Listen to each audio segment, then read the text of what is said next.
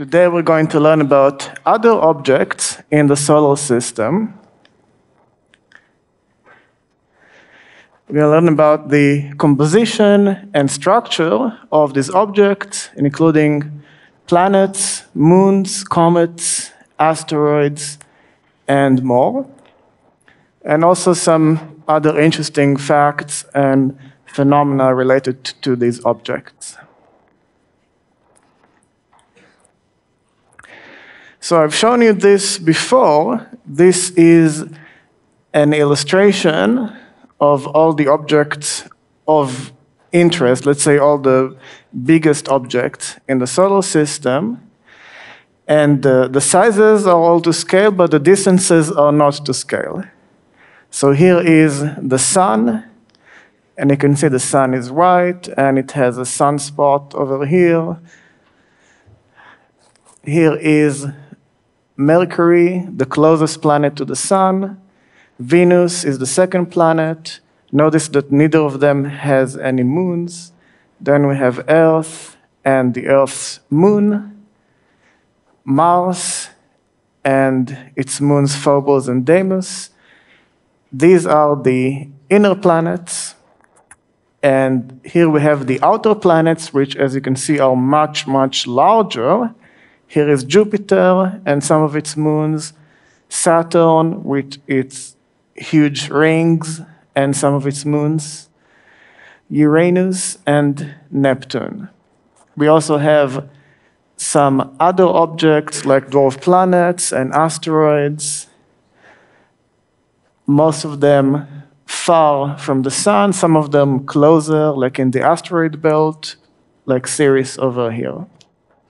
So we're basically going to learn more details about all of these uh, objects, especially the planets. So let's start with Mercury, which is the nearest planet to the Sun. In fact, it's so close to the Sun that from its surface, the Sun appears three times as large as it does from Earth, and the sunlight is seven times brighter. So imagine yourself on the surface of Mercury, and you look in the sky, and the sun will be three times as large, taking up a very large portion of the sky, and the sunlight is going to be seven times brighter the semi-major axis, which is the average distance of the planet from the sun, is about 58 million kilometers, which is 0.39 astronomical unit. Remember, an astronomical unit, about 150 million kilometers, is the distance, the average distance of Earth from the sun, so we usually denote the distances of other planets from the sun in units of astronomical units. So you can see here, Mercury is about 39% of the distance of Earth from the sun. So it is much closer. Mercury's orbital eccentricity is 0.206 which is the largest eccentricity among the eight planets. Remember, a few lectures ago, we learned about ellipses. So, eccentricity basically tells you how eccentric the ellipse is. So, if it's zero, you have a circle, and then as you increase the eccentricity, the circle becomes more and more squished this eccentricity, uh, this eccentricity of 0.2 is actually very large, definitely compared to all the other planets. All the other planets have orbits that are approximately circular with a small eccentricity. Mercury has this very large eccentricity. There are other objects in the solar system, especially comets, that have an even larger eccentricity. What this means is that the distance of Mercury from the Sun varies greatly along its orbit. So remember from Kepler's first law, the orbit of a planet is an ellipse with the sun at one of the foci. So the sun is not at the center, it is at one of the foci of the ellipse, which means that when the planet is near that foci, it is much closer to the sun than when it is on the other end. And I will show you the orbit later along with some other orbits. At aphelion, which is the farthest point from the sun, the distance is about 70 million kilometers. But at perihelion, which is the closest point to the sun, the distance is about 46 million kilometers. That's about two thirds of the aphelion. I see a question over there.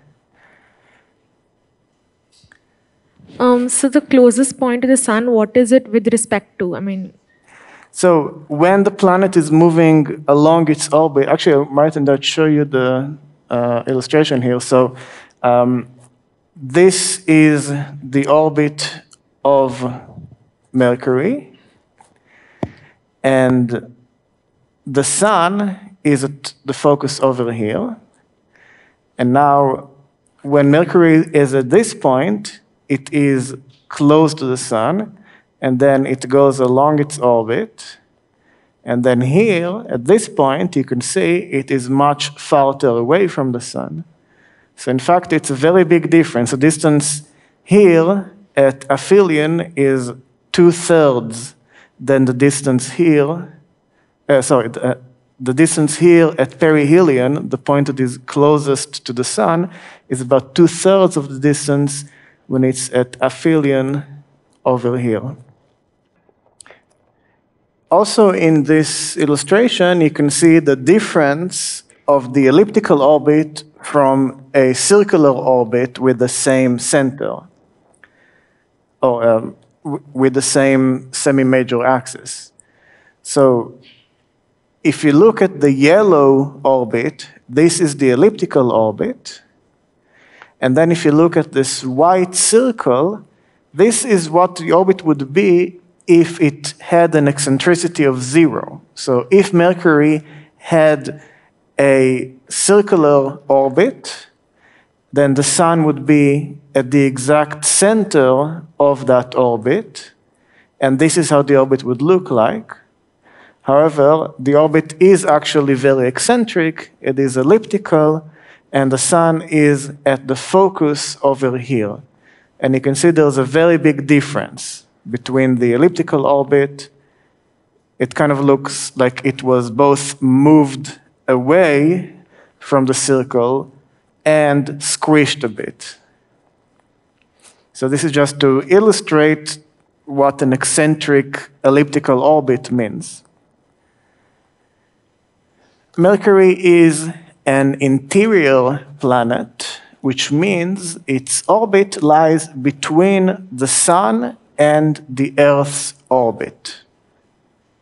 So this means that looking from Earth, Mercury always appears within, so it always appears close to the Sun, and more precisely within 28 degrees of the Sun in the sky. Because when we look towards the sun, that is where Mercury always is. It is always closer to the sun than we are and it is always in the direction of the sun. It's never going to be opposite to the sun, because if it was opposite to the sun, that means that the earth somehow got in between the sun and Mercury, and that would be impossible. So Mercury is always closer to the sun than earth. That's why when we look in the direction of the sun, we always see Mercury near the sun. So this means that Mercury can be seen near the western horizon after sunset or the eastern horizon before sunrise. If you want to see Mercury, which is actually very hard, then you will have to look at where the sun used to be. So after sunset, when the sun sets in the west, then you look at the western horizon. That is when that is where you can expect to see Mercury if it is visible. Since Mercury is an interior planet, we can see it pass in front of the Sun. This is called a transit of Mercury. This happens only rarely, about 13 or 14 times per century, and only in May or November due to the relative alignment of the orbits. So we have the orbit of Earth, the orbit of Mercury, and they have to line up exactly, or more precisely, and the two planets have to line up exactly along these orbits so that when we look towards the sun, we will see Mercury pass by the sun, or pass over the sun. And this, like I said, happens very rarely and only in particular months. So in May and November, that's when Earth is at these specific points along its orbit where it is possible to see Mercury passing over the Sun, but not every year. The last transit of Mercury was November 11, 2019, so about three years ago. And the next will be November 13, 2032. So if you want to see Mercury trans uh, transiting over the sun, you'll have to wait 10 years. A transit is somewhat similar to a solar eclipse. An object is blocking the light from the sun. So in a solar eclipse, the moon is blocking the light from the sun. In a transit of Mercury, Mercury is blocking the light from the sun. However, Mercury is much smaller in the sky than the moon, so it blocks only a tiny part of the sun. So here's a nice photo illustrating that. So here's the sun, and here you can see this tiny dot that is Mercury transiting over the sun on November 11, 2019. Now, Mercury's orbital period around the Sun is approximately 88 Earth days. It is the shortest orbital period among the planets. And of course, as we know, the closer the planet is to the Sun, the shorter its orbital period is. That follows from Kepler's laws specifically Kepler's third law that relates the orbital period to the semi-major axis. Mercury is tidally locked with the Sun in a 3 to 2 spin orbit resonance. Remember, we talked about tidal locking when we talked about the moon and how the moon only shows one side of itself to Earth at all times. There's also tidal locking happening with Mercury and the Sun. However, it is a resonance of 3 to 2. So, what does that mean? It means it spins, Mercury spins three times on its axis for each two orbits around the Sun. So, that's why it's 3 to 2 spin orbit, it's three spins for two orbits. Mercury is the only tidally locked planet in the solar system. Now, on Earth, days are obviously much shorter than years. Let's recall the two definitions of a day on Earth, and we talked about this in previous lectures. So we have a solar or synodic day, that is a measure of how long the sun takes to return to the same position in the sky. And on Earth, this is 24 hours long. We also have a sidereal day, which is how long a fixed star in the sky takes to return to the same position. And on Earth, that's uh, uh, 23 hours and 56 minutes. So it is four minutes shorter than a solar day. Now, on Earth, these are basically the same. For most practical purposes, you don't really care if you're talking about a solar day or a sidereal day because they're both approximately 24 hours long. So let's remember how that works. And I showed you this in a previous lecture. So here is Earth, here is the sun, and here is a distant star. And let's just assume that we know where both the sun and the star are in the sky. Obviously, during daytime, you wouldn't actually see the star. And if the star is behind the sun, definitely you wouldn't see it. But uh, for illustration purposes, let's assume we know where both of them are in the sky. So now the Earth is orbiting around the sun but it also rotates around its own axis. Now, we start here at noon solar time on day one, and at this time, both the sun and some fixed star are at exactly the same place in the sky at the zenith, so directly above us. Now, 23 hours and 56 minutes have passed, and it is now 11:56 a.m. on day two. Now the fixed star is back at the zenith. That means that one sidereal day has passed. And what it actually means is that the Earth has completed a full orbit. A fu uh, sorry, the Earth has completed a full rotation around its axis. So that star is called a fixed star because it is fixed in the sky. We assume that it doesn't move, so it's a good reference point to measure the rotation of Earth around its own axis. So when we see the same star at the same point, we know we've completed exactly a full rotation. But then the sun is not yet at the zenith, and the reason is that in those 24 hours, we have actually also moved relative to the sun. So now the sun is at a different place in the sky, and we have to wait four more minutes until the sun is again at the zenith, and that is what a solar day is.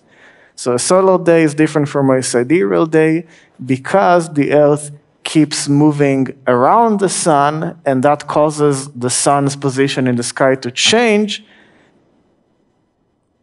in a way that is unrelated to the rotation of Earth around its own axis. So, why am I telling you all this again? Because this is not the case on Mercury because of this 3 to 2 spin orbit resonance. Mercury's sidereal day is about 58.65 Earth days, so 58 and two thirds of a day. But its solar day is much longer, exactly two Mercury years, or approximately 176 Earth days. So notice this huge difference on Earth, sidereal day and solar day are both approximately 24 hours. There's a four minutes difference. While on Mercury, the sidereal day, meaning how long it takes Mercury to rotate around its own axis relative to the fixed stars, that is about 58 days, 58 Earth days. But the solar day, how long it takes for the sun to get back to the same position in the sky, is much, much longer. And note that there is a relationship between these two numbers. So if you take the 58.65 days of the sidereal day and you multiply that by 3, you get 176. So 176 Earth days is two Mercury years. Remember, one Mercury, one Mercury, Mercury, one Mercury year is 88 Earth days, so that is exactly two years on Mercury, and three Mercury sidereal days is two Mercury years, which is exactly what it means to be in a three to two spin orbit resonance. So in the time that it takes Mercury to complete three spins around itself, which is the length of a sidereal day, it completes two orbits around the sun, which is a Mercury year. So that's a three to two spin orbit resonance. Now, Mercury has the smallest axial tilt among the planets, which is about 0.03 degrees, or basically zero. Compare this with the Earth's axial tilt, which, as you may remember, is 23.4 degrees. So we have 23.4 compared to zero. Remember also that the Earth's axial tilt is what's responsible for the seasons, and we talked about why that is. There are several reasons. We talked about that in a previous lecture. And because Mercury basically has no axial tilt, it also experiences no seasons. There's no summer and winter and spring and fall on Mercury. It's all just the same. It also has no atmosphere to retain heat.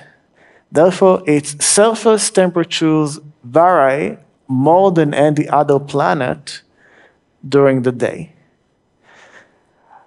How much do they vary? Well, the coldest can be about 100 Kelvin, which is minus 173 degrees Celsius at night and the hottest can be about 700 Kelvin, which is 427 degrees Celsius during the day at the equator. And the polar regions are constantly below 180 Kelvin or minus 93 degrees Celsius.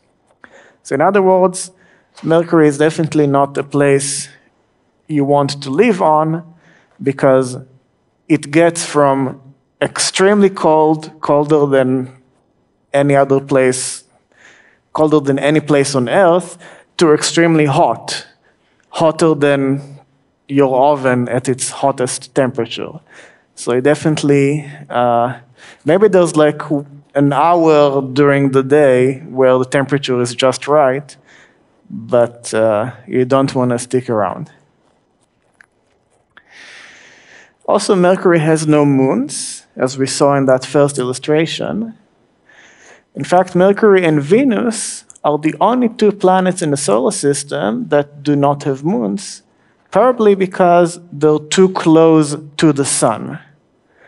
So the sun has this very strong gravitational pull in that region, so it makes sense that if something, some object comes near these planets that might get captured by these planets if they were farther away from the sun. It doesn't get captured by them. It doesn't become a moon because of the strong gravity of the sun, which is much, much stronger than the gravity of Mercury and Venus. The surface of Mercury is heavily cratered, similar to Earth's moon, and this indicates it has been geological, geolog, so I don't know how to speak English, uh, geolog, geologically inactive for billions of years.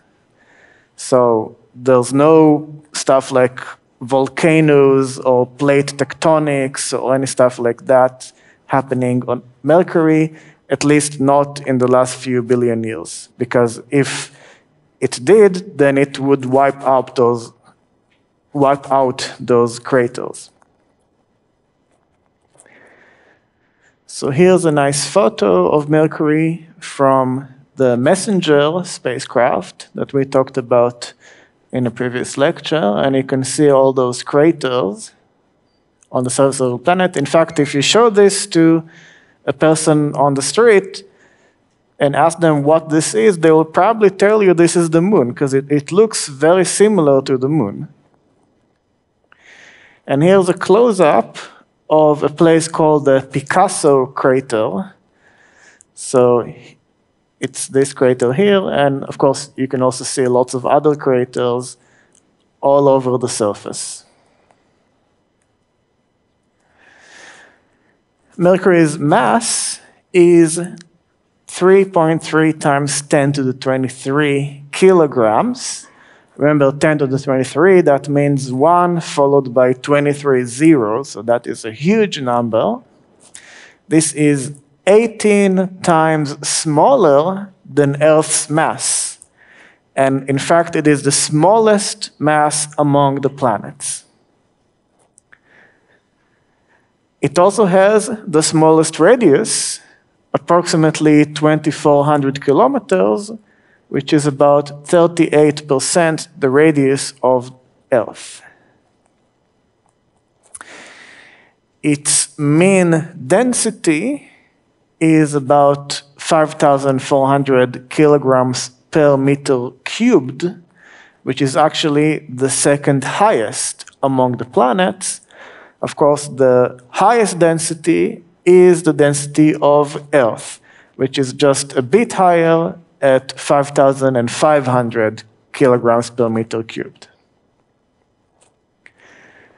So basically, we have here a planet that is much, much less massive than Earth, much smaller, just about a third of the size of Earth, but has about the same density. Due to this high density, we know Mercury must be composed of heavier materials such as metals.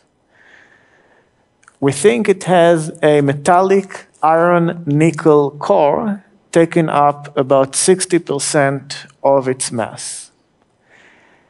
And at least part of this core must be liquid because Mercury has a magnetic field, although it's a weak magnetic field, but still it has one and you would need a liquid core to generate a magnetic field.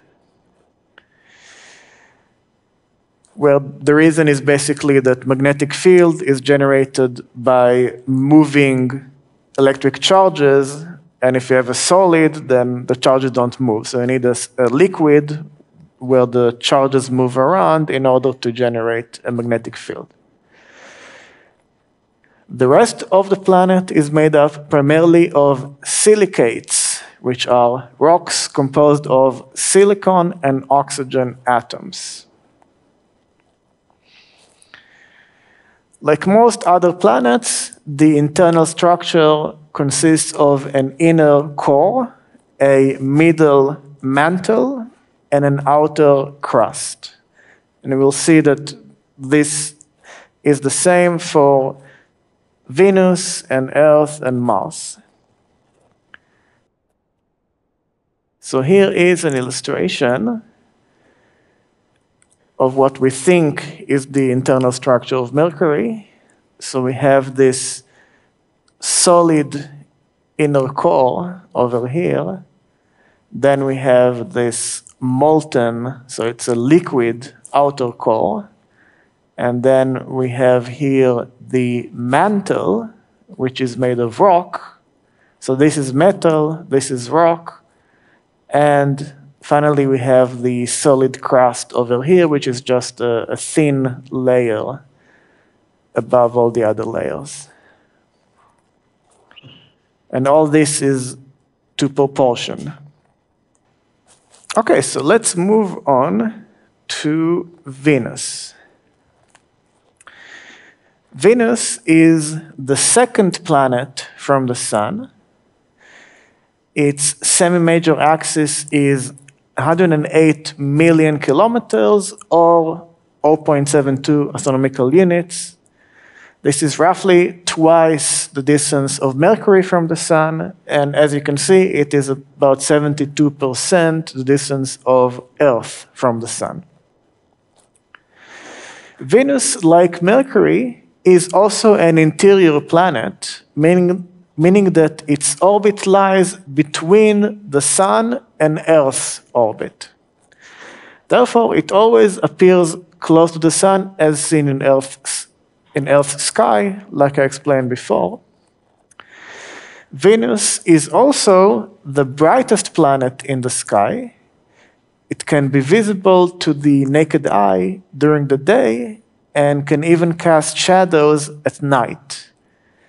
So, just like the sun and the moon can cast shadows, if there's a very, very dark night, the moon is not in the sky, but Venus is in the sky, you can sometimes actually see shadows cast by Venus. That's how bright it is. Like Mercury, Venus also doesn't have any moons. So here is an animation of the orbit of the four inner planets. So we have here the Sun at the center. Here we have Mercury, then Venus, then Earth, and finally Mars. And you can see this is all in not in real time, but in real proportion. So you can see Mercury spinning around much faster than Venus, slower than Earth, even slower than Mars, even slower than that. Because again, the farther you are from the Sun, the slower your orbit is. You can also see Mercury's orbit is actually very eccentric, so it is an ellipse, while the other orbits are more circular. Another thing you can see from here is what I explained before about why Mercury and Venus are always near the sun in the sky when you look from Earth. So you can see here that because Earth is the outer orbit, so whenever I look from Earth towards the sun, I always see Mercury and Venus next to the sun. But if I look towards Mars, then I can, let's say now, for example, I look at Mars, it's not near the sun, it's in the opposite direction of the sun. Now, I'm going to show you a simulation using Stellarium of how to find Mercury and Venus in the sky. Now, they're both always within 28 degrees of the sun, and therefore, like I said before, easiest to see uh, at sunrise or sunset. However, Venus is much easier to find as it's always the brightest planet in the sky, and Mercury is usually hard to see. Now, right now, you can see Mercury and Venus over here. Indeed, they are near the sun. However, if you actually look out right now, so this is right now, right? So this is where they are right now, but there is an atmosphere on the way. So if you actually look out right now, uh, you may be able to see Venus, but this is kind of an ideal situation. There's probably going to be clouds and stuff, especially because it's very rainy today, so you probably won't be able to see Venus even though it is in the sky right now. And Mercury is also in the sky right now, but you definitely won't be able to see it. It's just not bright enough. And if the atmosphere is on, diffusing the light from the sun, then you definitely won't see it. Um, but let's advance time a bit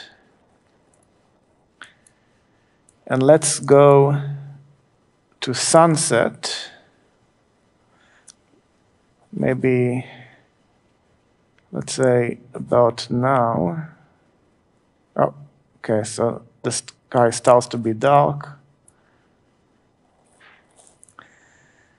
Right now, I don't see Mercury or Venus because they're actually under the ground. So here's Venus, but it's blocked by the ground.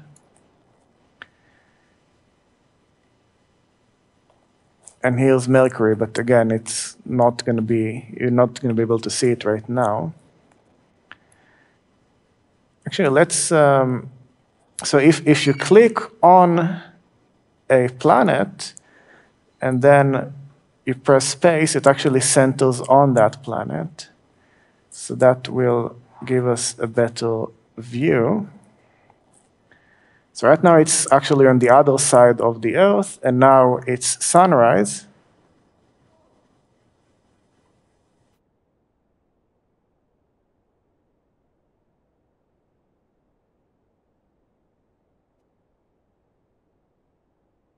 So here's the sun. And here's Mercury still under the ground. Yeah, sorry, Venus, I mean, still under the ground. And here's Mercury following it. So basically, what you can see from this simulation is that both Venus and Mercury are always near the sun. And if you want to see them, you need to look towards the sun, and the only time you can actually see them is when it's sufficiently dark.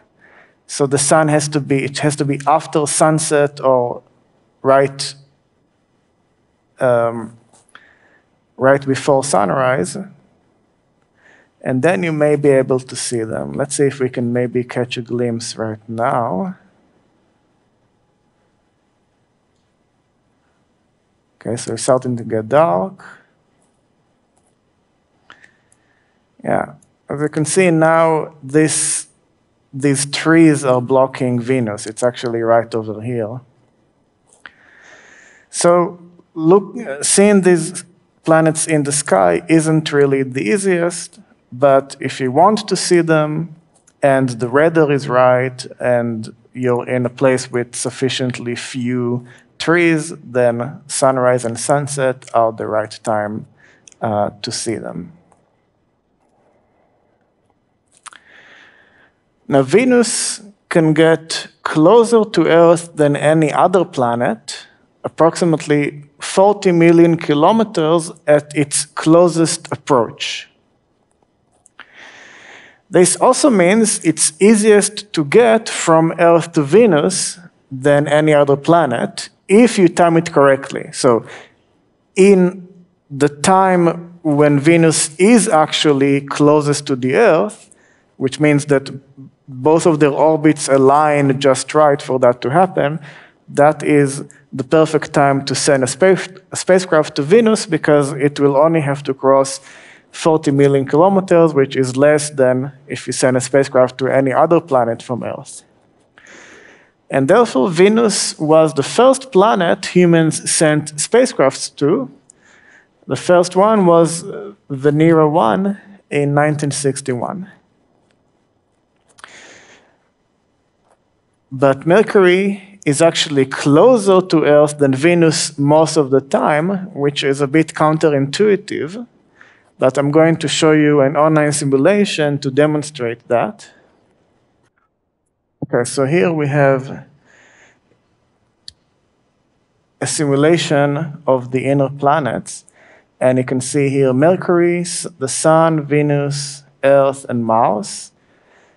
And now this line always connects Earth to the nearest planet. You can see right now Mercury is the nearest planet, and it is the nearest planet for a while, but now the status changes to Venus. So there's really just a short amount of time. Oh, yeah, here Venus is right now at its closest approach to Earth, but then it's getting farther away. Now Mars is actually closest to Earth. So basically, you can see that because the planets move into orbits, it's a bit counterintuitive. You would imagine that because Mercury is two orbits away, right? We have Earth and then we have Venus, and only then we have Mercury, then Mercury would always be farther away. But in fact, the opposite is true. Most of the time, Mercury is closest to Earth, and sometimes Venus is, and sometimes Mars is. So you can see now Earth is passing next to Mars, so it should be in its closest approach right about now. Now is the closest it is to Mars. But then Mars stays here and Earth moves over here. So now Mercury is closest. Now again, Venus is at its closest approach right now, but it is then moving away. So the point is there's just this complicated relationship between the planets moving in their orbits, and most of the time, as you can see right now, Mercury is actually the closest planet to Earth. Since Venus is an interior planet, it can also pass directly in front of the Sun, as seen from Earth, um, just like Mercury. And this is called a transit of Venus. So these transits are extreme, extremely rare. They occur in pairs eight years apart, but each pair is separated from the next pair by either 105 or 121 years. Now, the last pair of transits of Venus was June 8, 2004, and June 5, 2012. Notice the difference of eight years between them. But then the next pair of transits is going to be December 10, 2117, and December 8, 2125. So again, these two are separated by eight years, but the difference between the last transit and the next transit, that is actually 105 years. So here, 2012 to 2117, that's a difference of 105 years. So if you live long enough, you may be able to see the next transit of Venus. Historically, these Venus transits had great importance as they were used to accurately estimate the size of the solar system as early as 1639. When you can see the size of Venus compared to the size of the Sun, you can use that data to do many interesting uh, calculations and estimations. So here is a nice photo of the transit of Venus in 2012, as seen by NASA's Solar Dynamics Observatory. So here is, of course, the sun, and you can see this black shadow over here. That is Venus transiting over the sun. And this, by the way, is a photo not in true colors, but in the extreme ultraviolet. So looking at a different part of the electromagnetic spectrum to, to get a different kind of image. It's not what you would see with your own eyes. Now there is a cool video that shows you the transit of Venus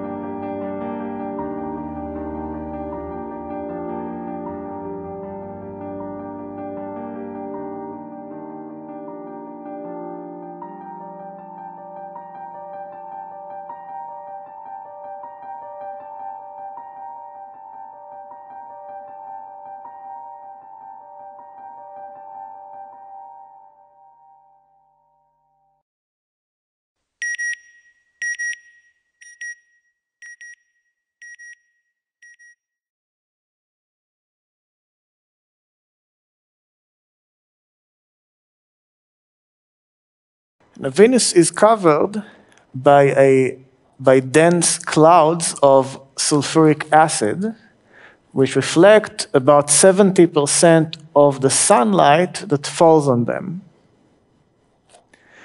This makes it very hard to see the surface of the planet, even from cameras in orbit around it. So, also, by the way, it's a reason, one of the reasons why Venus is so bright, because it reflects most of the light of the sun. And here is, in fact, an image from a camera orbiting Venus. So this is from the Akatsuki. Uh, this is taken by Akatsuki, which is Japan's Venus climate orbiter. And you can see all these clouds here, but it's very hard to see the, the surface from beyond these clouds. Now, all planets in the solar system revolve around the sun counterclockwise as viewed from above the sun's north pole. So if I'm standing at the north pole of the sun looking down, then all the planets are going to move counterclockwise in this direction Most planets also spin around their axes in the same direction, so also counterclockwise. However, there are two exceptions. Venus and Uranus have retrograde rotation, which means they spin around their axes clockwise, opposite to the direction of revolution around the sun. So this is the sun, we have the planets spinning counterclockwise with respect to it. But then, if you look at Venus, in its orbit, it is moving counterclockwise around the sun. But Venus itself is rotating clockwise in the opposite direction. So, rotating, I mean, around its axis. This means that on Venus and Uranus, the sun rises in the west and sets in the east. Venus's axial tilt is approximately 177 degrees, which is very close to 180 degrees. Of course, 180 degrees is when you rotate something upside down. So that indicates that the rotational axis is tilted upside down compared to the orbital axis. If we look at Uranus, uh, the axial tilt is 97.8 degrees, which is close to 90 degrees, and that indicates the rotational axis of Uranus is tilted almost perpendicular to the orbital axis. And we can see this illustrated here. So here is Earth, which has the tilt of 23.4 degrees. So here is the, this black line is perpendicular to the plane of rotation, the, uh, to the plane of orbit around the sun, and then the plane of rotation around Earth's axis is tilted by 23.4 degrees. Now we look here at Venus. So again, the black line is the line perpendicular to the plane of rotation, uh, perpendicular to the plane of the orbit around the sun. So, in other words, perpendicular to the axis, uh, parallel to the axis of rotation around the sun. And here you can see a difference of 177 degrees and this is actually the axis where Venus rotates around itself. So it's basically upside down.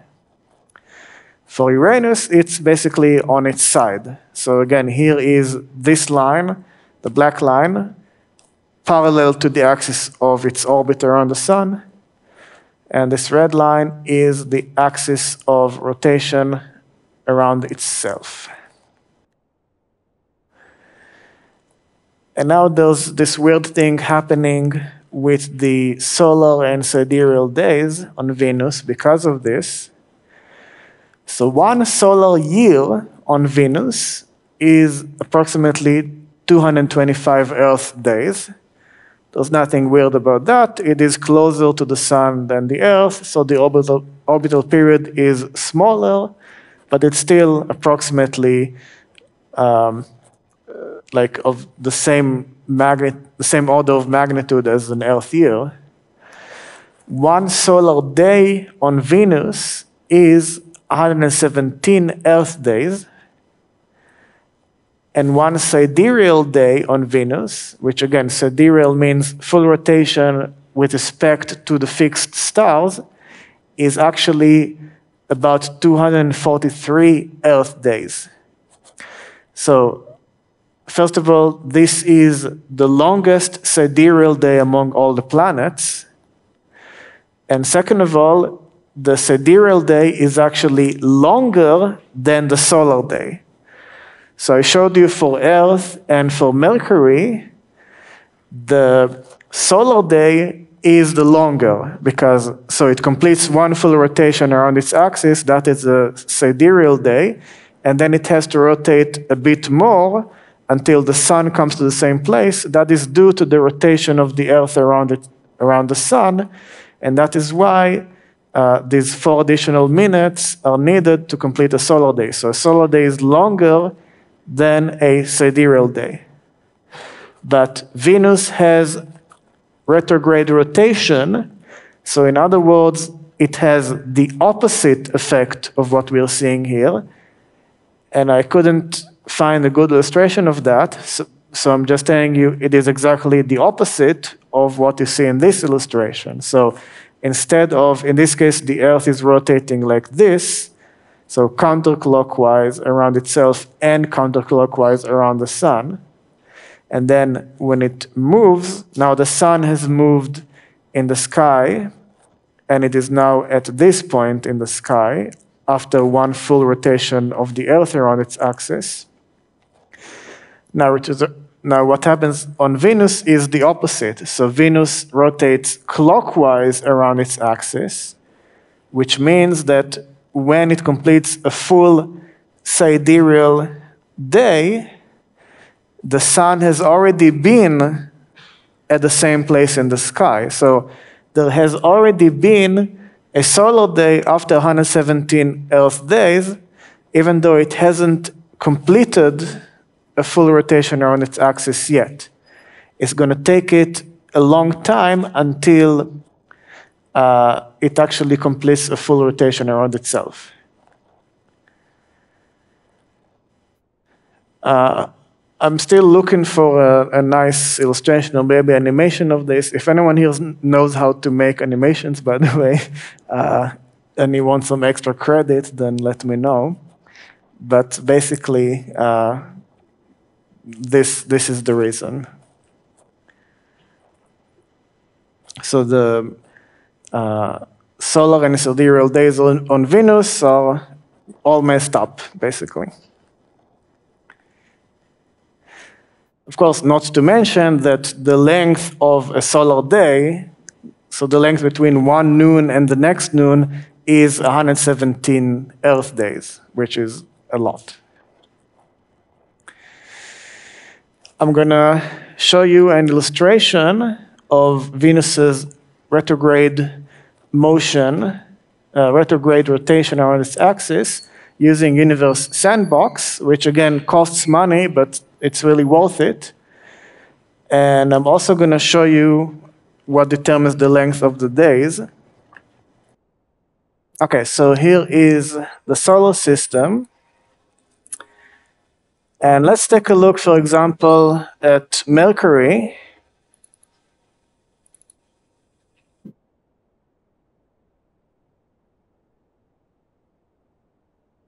Now you can see Mercury, if I look from the, so I'm just going to lower this music a bit.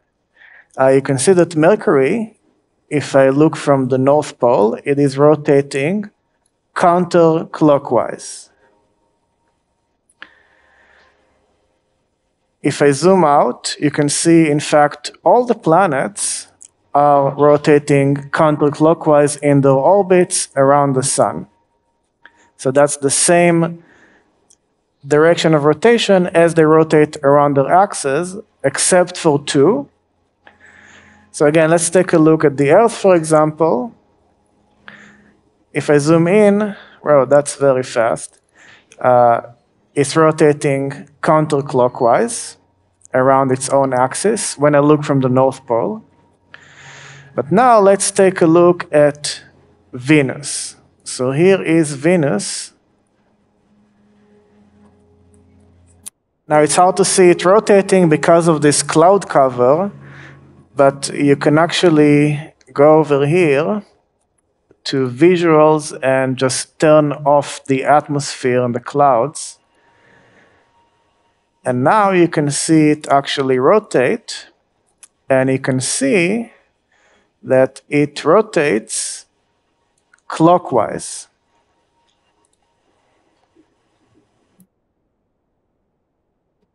See? Clockwise. So it is the only planet that rotates in the exact opposite way that uh, it orbits the sun. You can also see here, as long as I'm here, I'm also going to show you the difference between the day and the year. Right, so for Mercury, my speed right now is about a week per second, and this is how fast Mercury is rotating.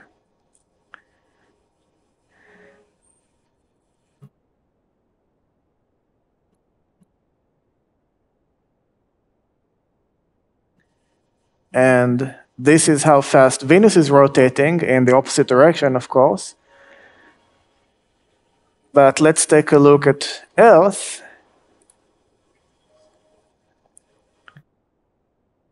Earth is rotating like crazy because this is one week per second. The rotation of the Earth is, of course, um, one day per day.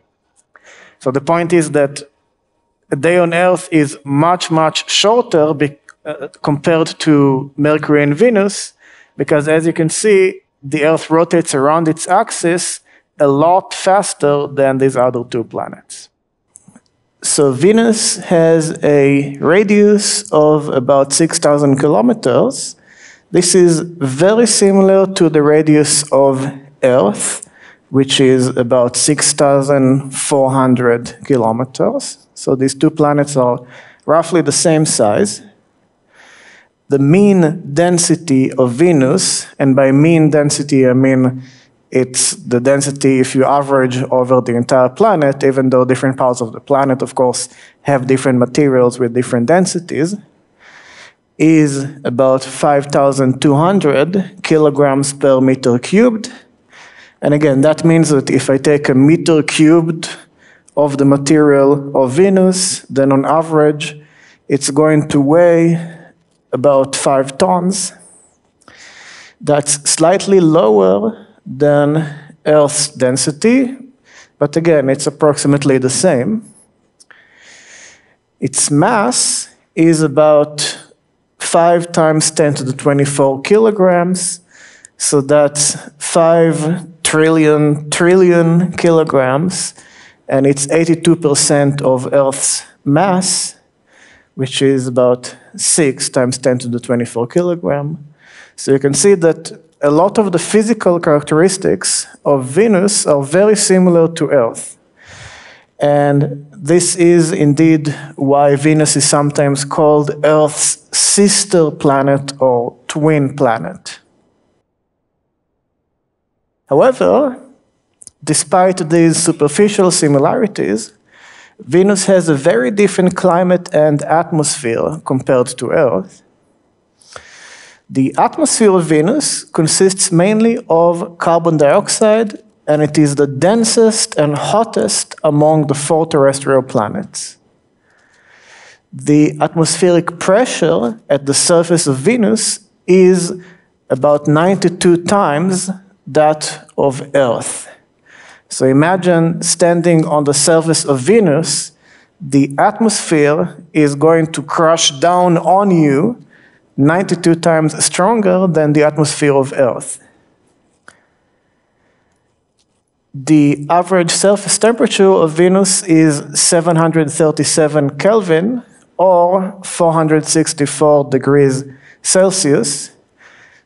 So again, this is not really a place you want to be. You're just going to boil to death in a minute. This is hotter than even the maximum daytime temperature on Mercury, which, as we learned last time, is about 700 Kelvin.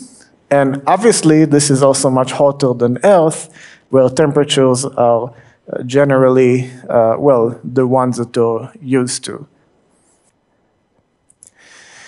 Venus is a bit closer to the sun than Earth, so it gets a more intense sunlight. Remember, I, I believe I mentioned in the past, when light spreads out, as it goes to farther and farther distances, it also spreads out across larger and larger areas. So the closer you are to the source of light, the more intense light you get. However, this is not nearly enough to explain why its surface is so much hotter than Earth. Also, Mercury is even closer to the Sun than Venus, but Mercury is actually closer, uh, uh, sorry, Mercury is actually colder than Venus, even though it is closer to the Sun. So the distance to the Sun definitely doesn't explain why Venus is so hot. And the reason why Venus is so hot is called the greenhouse effect. This greenhouse effect, you may have heard of it before, it also exists on Earth. So after the sun warms the, warms the surface of the Earth, the surface releases heat back in the form of infrared radiation. And if you want to know more about the types of radiations, we're going to talk about that in the next term. However, greenhouse gases such as carbon dioxide and water vapor prevent heat from escaping back into space. Now, because heat cannot escape back, it has to stay inside the planet, inside the atmosphere and the surface. And this causes the overall temperature of the planet to increase. This is a process that is happening on Earth. Indeed, it is the reason for climate change. And the same thing happens on Venus. However, Venus has a million, time, a million times more carbon dioxide than Earth. And because of that, the greenhouse effect is much stronger on Venus, and therefore the temperature also gets much hotter. So here on Earth, we are extremely worried about temperatures increasing by one or two degrees, which is definitely something to worry about. But on Venus, temperature has increased, increased by hundreds of degrees. If this happened on Earth, that would be catastrophic. Now, Venus actually may have had a climate similar to Earth with moderate temperatures like we're used to, water oceans, and carbon dioxide stored in the ocean and in the rocks. However, even a small amount of extra heat from the sun can lead to increased water evaporation and release of gas from rocks. So all of that CO2 that is stored in the water and in the rocks gets released by a small increase in heat from the sun. And this increases the greenhouse gases, CO2 and H2O, carbon dioxide and water vapor in the atmosphere. So this process amplifies itself. We have more heat, that leads to more greenhouse gases, But now that we have more greenhouse gases, then again, these gases prevent heat from escaping back to space, so that leads to more heat. And then more heat leads to more greenhouse gases, and so on. The process uh, keeps repeating itself. Eventually, the oceans boil completely, and this is called the runaway greenhouse effect. And we think that this is what happened on Venus. Don't worry though, it's not going to happen on Earth, and it took probably a few billion years, but uh, that's why we think Venus is so much hotter than the other planets. Now, we don't know much about the internal structure of Venus, but it should have a differentiated structure like the other planets. And like I explained, differentiation is when the planet basically splits into different layers with the most dense materials sinking to the center and the less dense material floating to the outer surface. So this leads to a structure with, sorry, uh, with a core, mantle, and crust. So here we have a metallic core at the center. Here we have a rocky mantle, and then we have crust on the outside. Okay, so let's move on to Mars. Mars is the fourth planet from the Sun and the farthest planet in the inner solar system. So the inner solar system, to remind you, consists of four planets, Mercury, the closest to the sun, then Venus, then Earth, and then finally Mars. The semi-major axis, which is the average distance of Mars from the sun, is about 228 million kilometers or about one and a half astronomical units. And again, I remind you, an astronomical unit is the semi-major axis of Earth. So it is the average distance of Earth from the sun, and it is approximately 150 million kilometers. Mars is the second smallest planet with a radius of about 3,900 kilometers, larger only than Mercury, which has approximately a 2,400 kilometer radius. So Mercury is the smallest planet, then we have Mars, and then remember Venus and Earth approximately the same size. Mars has a very thin atmosphere, less than 1% the density of Earth's atmosphere. So here, to show you the differences in sizes between the inner planets, or they're also called the terrestrial planets. So we have Mercury over here, that's the closest planet to the sun and also the smallest planet. Then we have Venus and Earth, and again, they are both approximately the same size. And then here we have Mars, which is much smaller than Earth and Venus, but still larger than Mercury. Sizes are to scale here, but of course, distances are definitely not to scale in this image. Like Mercury, Venus, and Earth, Mars is a terrestrial planet, which means it's composed primarily of silicates and metals. It has a core of iron and nickel, like Earth, and it is sometimes called the red planet due to its reddish color, which is caused by iron oxide in its surface. So just to illustrate, here we have a sample of iron oxide, and you can see its red color. This is essentially why Mars is red, because it has this uh, particular substance in its surface. And here's a larger photo of Mars itself. So you can see it has this red color, except of course for the polar ice caps, which are white, because they have ice. This is a true color image, which means this is if you looked out of the window of your spaceship into Mars, this is what you will actually see. And it was acquired by India's Mars orbital mission in 2014.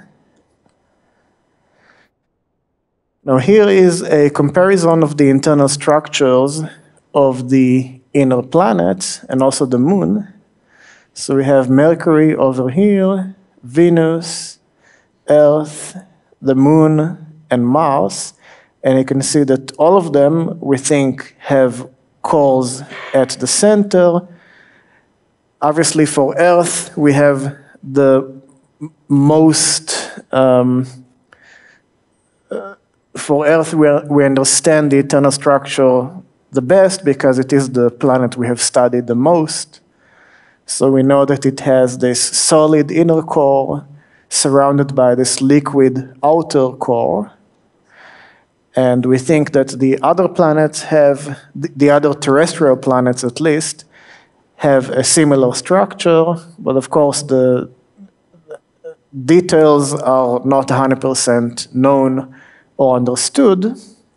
But you can see Mars also has a similar structure with a core at the center, and then a mantle, and then a crust. And the moon, by the way, might also have a core, but we don't, uh, we don't know for sure.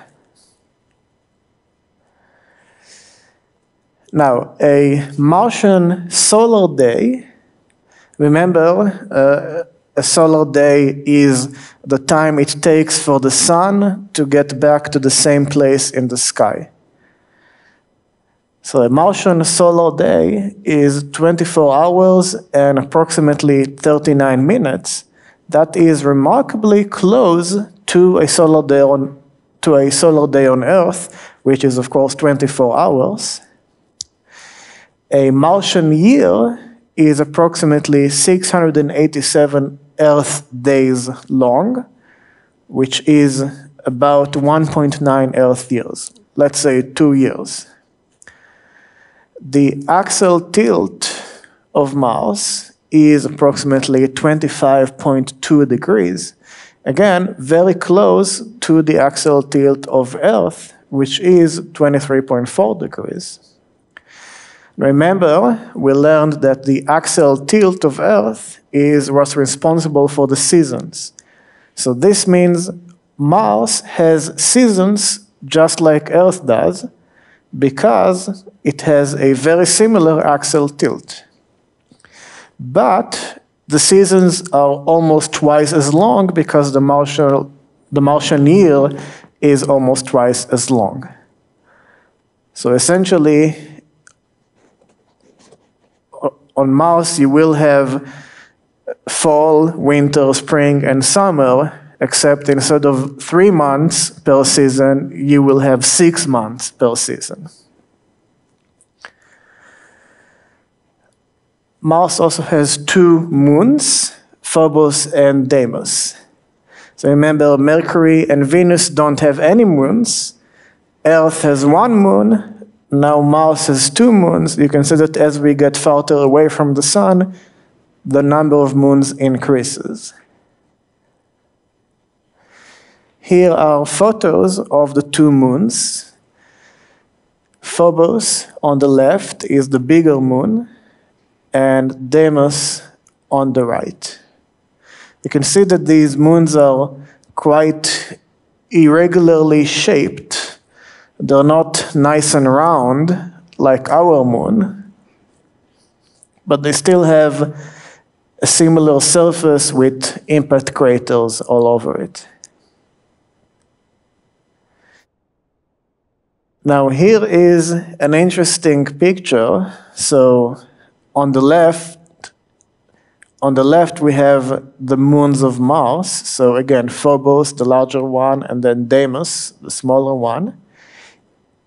in the sky of Mars as seen by the Curiosity rover. So the rover is actually on the surface of Mars, like we are on the surface of Earth, and it took this photo of the sky. So if you were on Mars, this is what you would see when you look up and see the moon, or in this case, the two moons. Compare this to a photo of the moon from Earth. So this is what we see when we are on the surface of Earth and we look up. And this is what you would see when you're on the surface of Mars and you look up. Now, the surface of Mars has many volcanoes. However, it is unknown if Mars is still volcanically active right now. Olympus Mons is a volcano on Mars, and it is actually the largest volcano and also highest known mountain in the entire solar system. So Olympus Mons is about 22 kilometers high. Compare this with Mount Everest, which is Earth's highest mountain and is only 8.8 kilometers high. We also have Valles Marineris, a system of canyons on Mars, which is one of the largest canyons in the solar system. It's about 4,000 kilometers long, 200 kilometers wide, and 7 kilometers deep.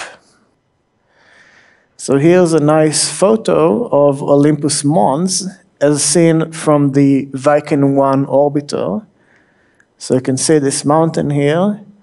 It is 22 kilometers high, higher than any mountain you've ever seen on Earth. Here you can see Valles Marineris, again as seen from Viking 1. So you can see this very long 4,000 kilometer canyon stretched across the surface of Mars. Now, liquid water cannot exist on the surface of Mars due to its low atmospheric pressure. However, there is ice water on the surface, including in both of the polar ice caps that we saw in one of the previous slides. And there's likely more ice deep underground. In the past, Mars actually may have had liquid water on its surface as well. So here's a nice photo of the Korolev impact crater on Mars, which is a crater full of ice estimated to contain about 2,200 kilometers cubed of water ice. Now, if Mars had liquid water, then it could have been suitable for life. And I stress that by that I mean life as we know it. So, life as we know it needs water to exist, but of course, there could be forms of life that we don't know, which don't require water. And I'll talk more about that next term when we talk about the possibility of life on other planets. But we don't know if Mars ever had any forms of life. Still, Mars is one of the most likely candidates for life in the solar system due to its similarities with Earth. Looking for evidence of life on Mars is a primary objective of past and future Mars missions. Now, even if we find life, it will most likely be in the form of microorganisms. No one is expecting to find any animals or even plants, or definitely not intelligent species on Mars, but we may find microorganisms, and that would still be an extremely exciting and revolutionary discovery. It would be the first discovery of any form of life outside of Earth. Jupiter is the fifth planet from the Sun. Its semi-major axis is about 778 million kilometers or 5.2 astronomical units, meaning it is approximately five times farther away from the Sun than Earth. Jupiter is the largest planet in the solar system with a mean radius of about 70,000 kilometers, which is 11 times Earth's radius.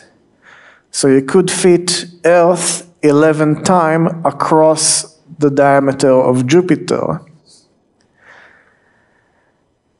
Jupiter is also the most massive planet at about 1.9 times 10 to the 27 kilograms, which is about 318 times the mass of Earth and about a thousandth of the mass of the Sun. So if you take everything on Earth, you multiply that by 300, you still don't have enough mass to make up Jupiter. In fact, Jupiter's mass is more than two and a half times the mass of all the other planets combined. Jupiter is also the third brightest celestial object in the Earth's night sky after the Moon and Venus. So if you look up in the sky and you see a bright point, that is usually either Venus or Jupiter. Jupiter is primarily composed of hydrogen. It also contains helium, about a quarter of its mass and about a tenth of its volume is helium, but the rest is mostly hydrogen. Now, Jupiter is a gas giant, and remember, gas giants don't have a solid surface. They are essentially just gas and liquid. However, it may have a rocky core of heavier elements at its center. The atmosphere of Jupiter is made of bands with storms along the boundaries between the bands, and I'll show you a photo in a second. The most famous storm is the Great Red Spot. It's a huge storm which has been raging since at least 1831. That was the first time it was observed. Of course, of course it could have also existed before that. So here you can see a very nice photo of Jupiter, and you can see this band structure. You see all these bands from left to right of different colors. These are the bands in the atmosphere. And here we have the Great Red Spot. This is a photo from the Hubble Space the Hubble Space Telescope in uh, 2020. Now you can also see in this photo some other storms.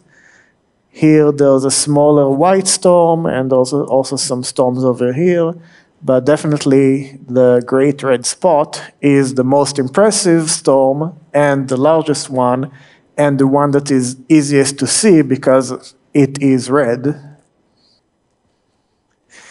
And here is a close-up of this spot. This actually rotated by 90 degrees, so you have to rotate it back like this if you want to see uh, the same orientation as the previous photo. This was taken by the Juno spacecraft in 2017. So the previous photo was taken by the Hubble Space Telescope. That is a telescope that is orbiting Earth so it's taking the photo from far away. Here is a close-up from a spacecraft that actually was close to Jupiter itself. And you can see this these storms here, kind of like a hurricane on Earth, except this storm is actually larger than Earth, larger than the entire planet Earth. Here we can see an animation of the cloud motion. So you can see clouds flowing along these bands from side to side. And you can also see the great red spot over here, and you can see it circulating around, again, kind of like a hurricane on Earth. Now, Jupiter has 80 known moons, and possibly many more moons that are currently unknown. We keep discovering new moons all the time. The four largest moons are Io, Europa, Ganymede, and Callisto, and they were discovered by Galileo in 1610. Remember, that was the first time that anyone discovered a moon on another planet other than Earth, and that was and that served as proof for the heliocentric model. And if you want to remember why, I suggest that you watch that lecture again. Ganymede is the largest and most massive moon in the solar system, 26% larger than Mercury, but only 45% as massive. So, in other words, one of the four largest moons of Jupiter is also the largest moon in the solar system. It is, in fact, larger than a planet, larger than Mercury.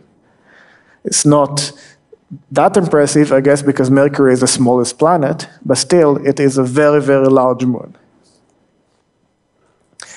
So here are the four Galilean moons, named after Galileo, of course, as seen by NASA's Galileo spacecraft from left to right in order of increasing distance from Jupiter, we have Io, which is the closest to Jupiter. Then we have Europa. Then we have Ganymede and Callisto. And again, Ganymede is the largest moon and also the largest moon overall in the entire solar system. Now, in general, the outer planets from Jupiter and on have many more moons than the inner planets. With the inner planets, I remind you, Mercury and Venus have no moons, Earth has only one moon, Mars has only two moons.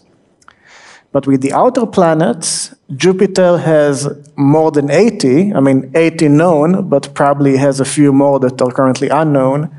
Saturn has at least 83, Uranus has at least 27, and Neptune has at least 13. Also, like all the outer planets, Jupiter has rings. They are, of course, not as impressive as Saturn's rings, which I'll show you in a minute, but it does have rings. Now, here is an interesting graph of the number of known outer planets' moons by planet and by year. So you can see here the different planets. So we have Neptune, Uranus, Jupiter, and Saturn. And you can see these lines tell us how many moons we know of. So starts at zero over here and then at in 1610, it increases because in 1610 we discover the four Galilean moons of Jupiter. And then you can see we discovered some moons of Saturn over here. And over the years, we discovered more and more moons. And this keeps going up, even into the 2000s.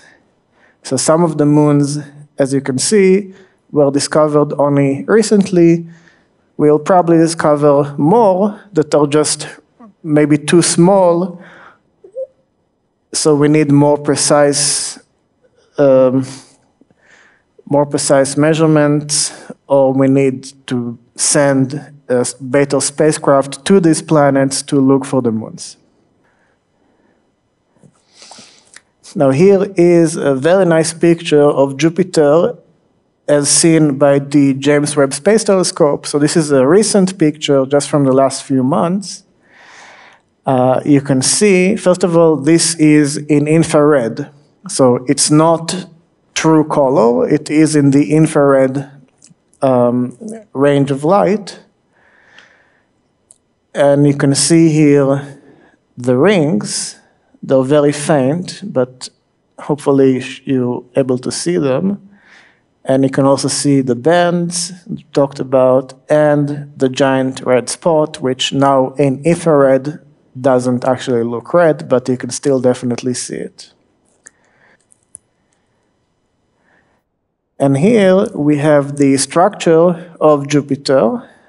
Now, we don't, we're not sure about what's going on inside. It may have a core of rock and ice over here, or it may not. And here there's metallic hydrogen, which is a phase of hydrogen that can conduct electricity. Usually a gas like hydrogen doesn't conduct electricity, but with the right conditions it can, and then we call it metallic hydrogen. So we think there's a layer of metallic hydrogen surrounding the core over here, but again, we're not sure about that. And then you can also see some of the outer layers. There's liquid hydrogen over here, and then gas hydrogen over here. And you can also see the rings in this illustration, and the great red spot, and all kinds of different names for these belts and regions of, uh, of the surface.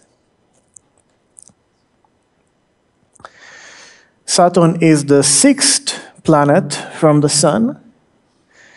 Its semi-major axis is 1.4 billion kilometers, or about 9.6 astronomical units. So it's almost 10 times farther away from the Sun than Earth is the internal structure of Saturn is similar to that of Jupiter. So from innermost to outermost layer, we have, first of all, a core of iron, nickel, and rock, then a deep layer of metallic hydrogen, then an intermediate layer of liquid hydrogen and liquid helium, and then a gaseous outer layer. So here is an illustration, and you can see it is similar to what we saw for Jupiter. So we think there's a core here at the center, and then here we have metallic hydrogen and also metallic helium. And then here we have liquid hydrogen, and then here we have gas hydrogen. gas hydrogen, that's kind of a weird uh, term. And of course, you can also see the rings here in this illustration. Notice, by the way, the rings have different letters. I'll talk about that in a second. And also, there are gaps between them, and these gaps also have names. Like, for example, this is the Huygens gap. Saturn appears pale yellow due to ammonia crystals in its upper atmosphere. It has 83 known moons. And of course, its most famous feature is its ring system. It is composed mainly of ice particles with some rocky debris and dust. By the way, these rings are not something you can actually stand on. They're just made of what is basically just dust and, and ice. There are hundreds of moonlets or small moons orbiting inside the rings. The seven main rings are labeled in letters from A to G in the order of discovery. So ring A was discovered first, and so on. So here we can see uh, not a photo but an artist's concept of Saturn's rings and the major icy moons. So we have here, you can see the A ring, B ring, C ring, D ring. The E ring is actually very diffuse, so it's much less dense than the other rings. And it actually extends from the orbit of the moon Mimas all the way to the orbit of Titan, which is not in the photo, it's too far away. So this ring is about 1 million kilometers wide. And you can also see some of the moons over here. So we have Mimas, Enceladus, Tethys, Dione, Rhea, and other moons to the far right. And you can also see some moons are actually inside the rings. For example, here we have Prometheus and Pandora inside this ring. Here is a nice natural color view of the rings. In this case, this is the outer C ring and the B ring as captured in 2009 by Cassini. So again, this isn't something you can actually land on. It's basically just lots of tiny grains that are orbiting the planet. Now, like I mentioned, there are moonlets that are orbiting within the rings. So here is a small moonlet, just 400 meters wide, called Earhart in the A ring of Saturn. So this is the ring, and this moonlet is basically orbiting inside the ring. Essentially, you can think of this moonlet as just a larger grain. There's, there's lots and lots of small grains within these rings, and this is just a very large one. So the distinction between a moonlet and a moon and a grain of dust is really just a matter of definition. Saturn's largest moon, Titan, is the second largest moon in the solar system after Ganymede. Remember, Ganymede is the largest moon, it is a moon of Jupiter, and then the second largest moon is Titan. Titan is also the only moon in the solar system with a substantial atmosphere. It's composed largely of nitrogen. Titan is the only known object other than Earth with evidence of stable bodies of surface liquid. Essentially, it has liquid lakes, which we don't see in any other solar system object.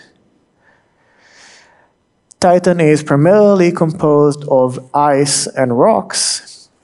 Likely, these were differentiated, uh, likely it was differentiated into a rocky core surrounded by various layers of ice. So again, differentiated means the densest materials, like rocks, they sink to the center and then less dense materials form layers above that center. Titan also has a crust of ice and a subsurface layer of ammonia-rich liquid water. So here's a nice natural color image of Titan. I remember what I said about Venus you can't see the surface of Venus because there are these clouds in the atmosphere, and the atmosphere is very dense and it is opaque, so it reflects light, so you cannot see what's going on inside, at least not in visible light. But if you use different types of light, like infrared light in this case, then you can actually penetrate through the atmosphere and see the surface, and you can see this in these images. Now, another interesting feature of Saturn is this hexagonal cloud pattern that's around the North Pole. It's also called Saturn's hexagon. So you can see here this hexagon, which has one, two, three, four, five, six sides. Now, this isn't a perfect hexagon, obviously, It just approximately a hexagon, but still it's a very interesting structure that we don't see anywhere else. And if you look inside this hexagon, then you see this huge spinning vortex. This is a false color image. It's not how it would actually look like. Uh, it was taken by the Cassini spacecraft, so you can see inside this hexagon this huge storm just brewing um, over here. We are now moving on to the next planet, the seventh planet from the Sun. Now, there's actually two ways to pronounce the name of this planet. There's Uranus, which seems to be the preferred way to pronounce, pronounce it among astronomers, and there's Uranus. Now, I think maybe astronomers prefer the first name because it doesn't contain the word anus, but uh, I think the first name contains the word urine, so it's really, I don't know which one is the best option. Uh, I'm just going to use Uranus in this lecture because uh, that seems to be what people usually prefer, but both pronunciations are correct.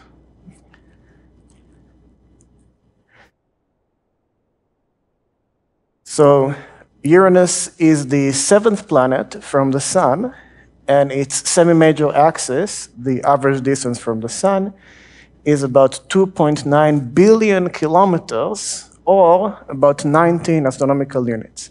It's farther away from the sun, 19 times farther away than Earth, which is one astronomical unit.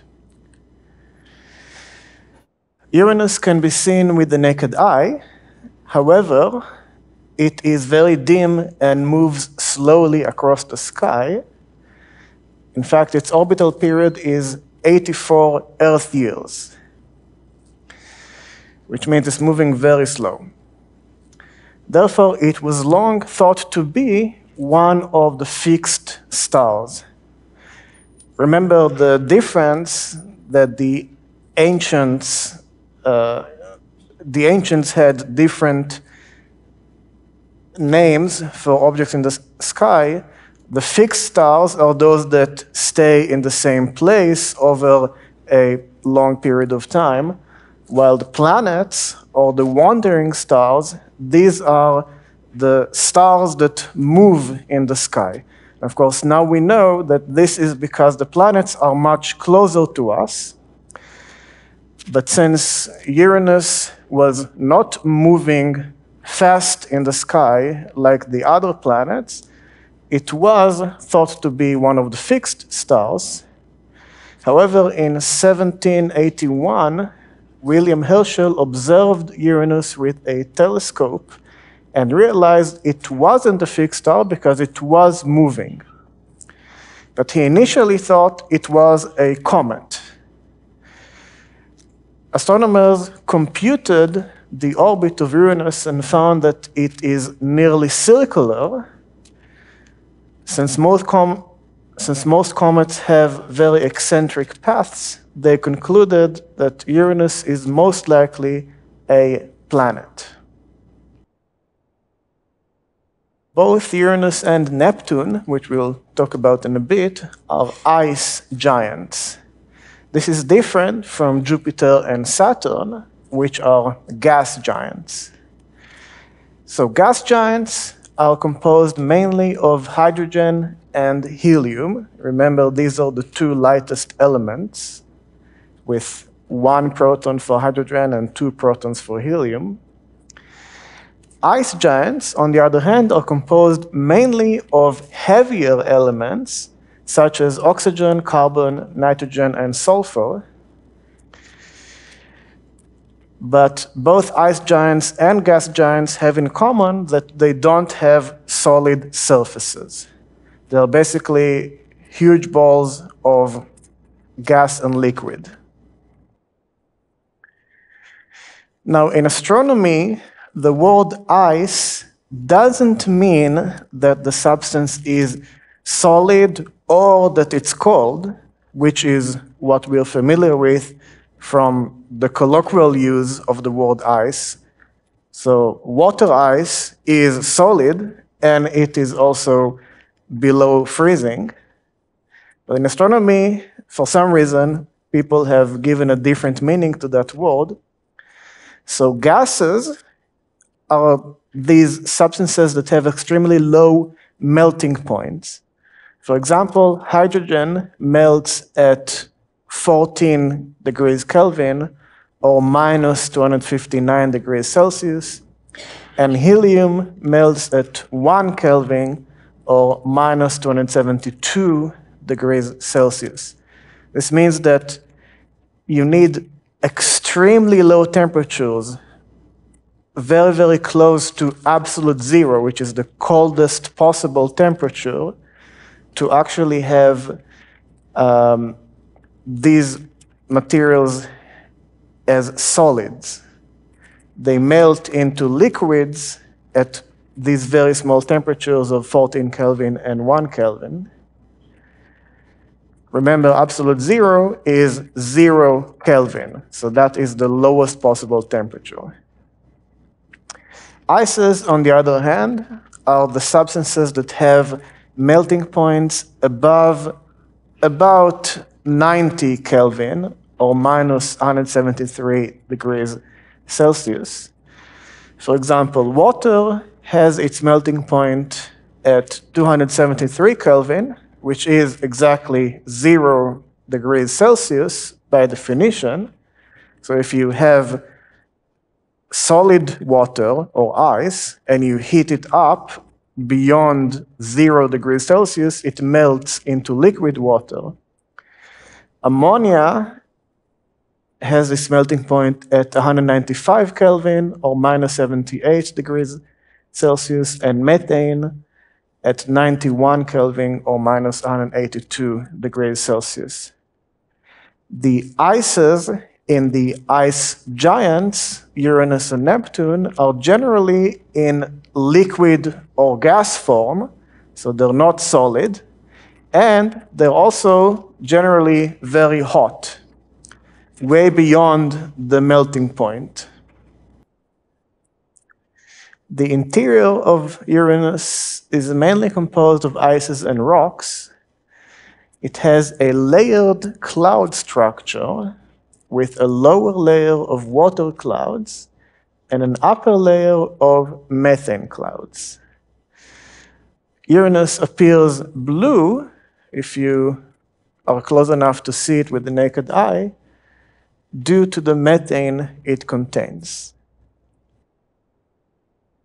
So here is a nice true color image of Uranus as seen by NASA's Voyager 2 spacecraft in 1986.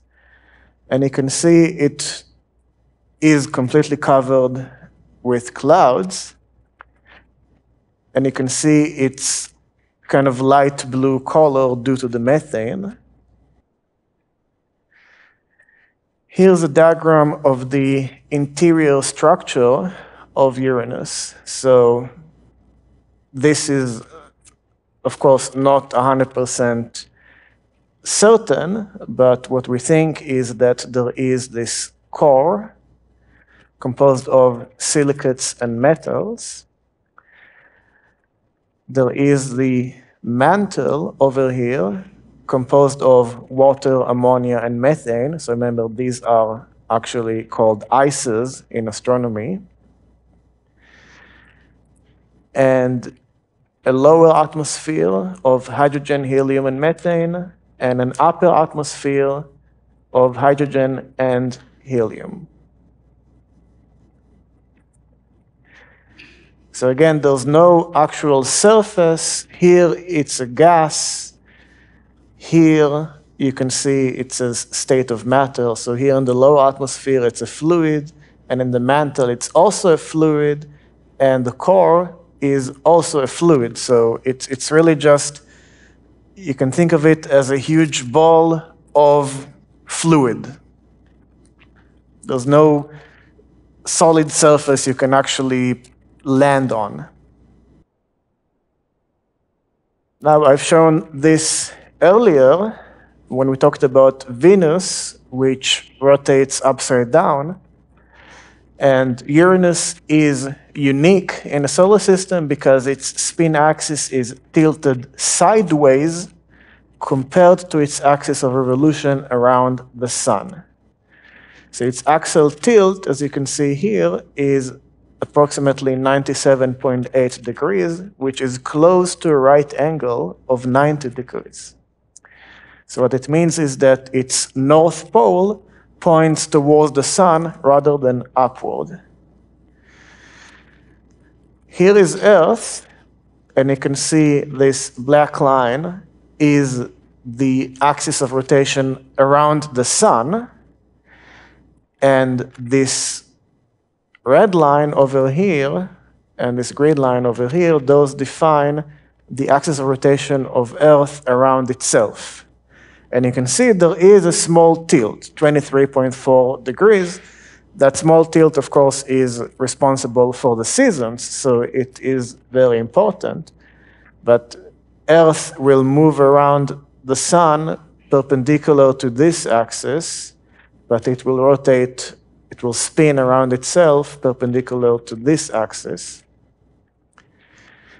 For Venus, as we talked about in a previous lecture, it's upside down, so its north pole is actually where the south pole of Earth is, but it, it, it still rotates in the same plane. But for Uranus, you can see that here the black line is the axis of rotation around the sun, and this red line, that is the North Pole, and this line connecting the red and green, that is the axis of rotation of Uranus around itself. And you can see that they are actually perpendicular to one another. So Uranus is going to rotate around the sun around in parallel to this axis, but rotate around itself around this axis. Now, this tilt was likely caused by a collision with another large celestial body, something, let's say, the size of one of the inner planets, which turned the planet on its side. So it should have started without any considerable axial tilt because of what we talked about in one of the early lectures, uh, in, in one of the previous lectures, which is conservation of angular momentum.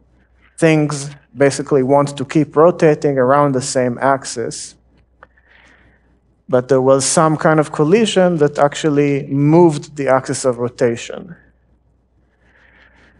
Like the other giants, Uranus has a ring system with 13 known rings and many moons, of which 27 are currently known.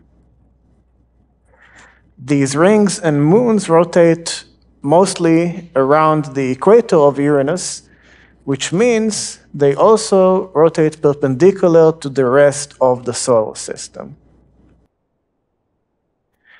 So here is a photo of Uranus where you can also see the rings. And so, and this from left to right, that is the plane of rotation around the sun.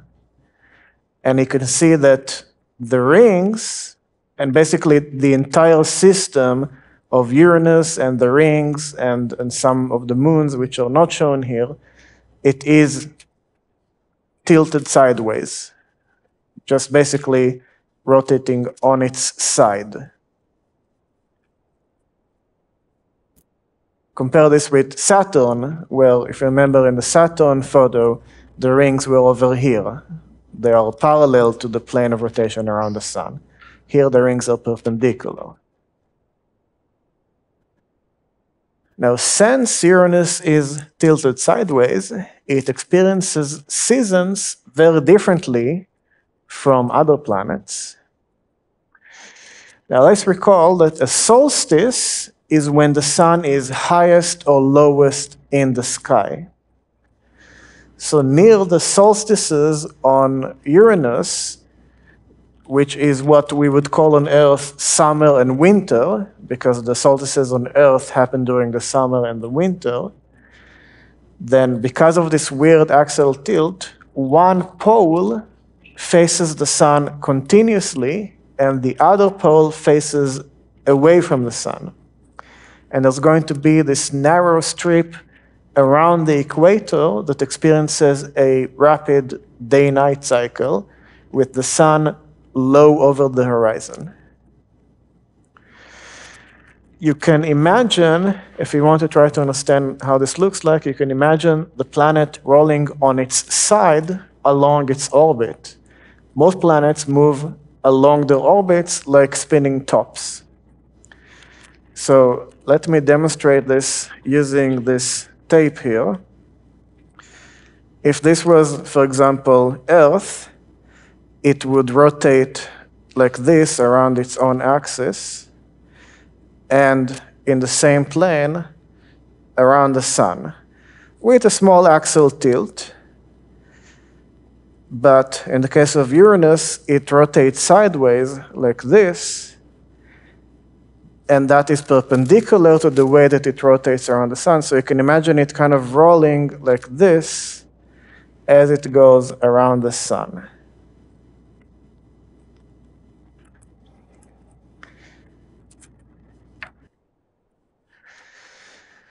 Now, here we see Uranus and its six largest moons.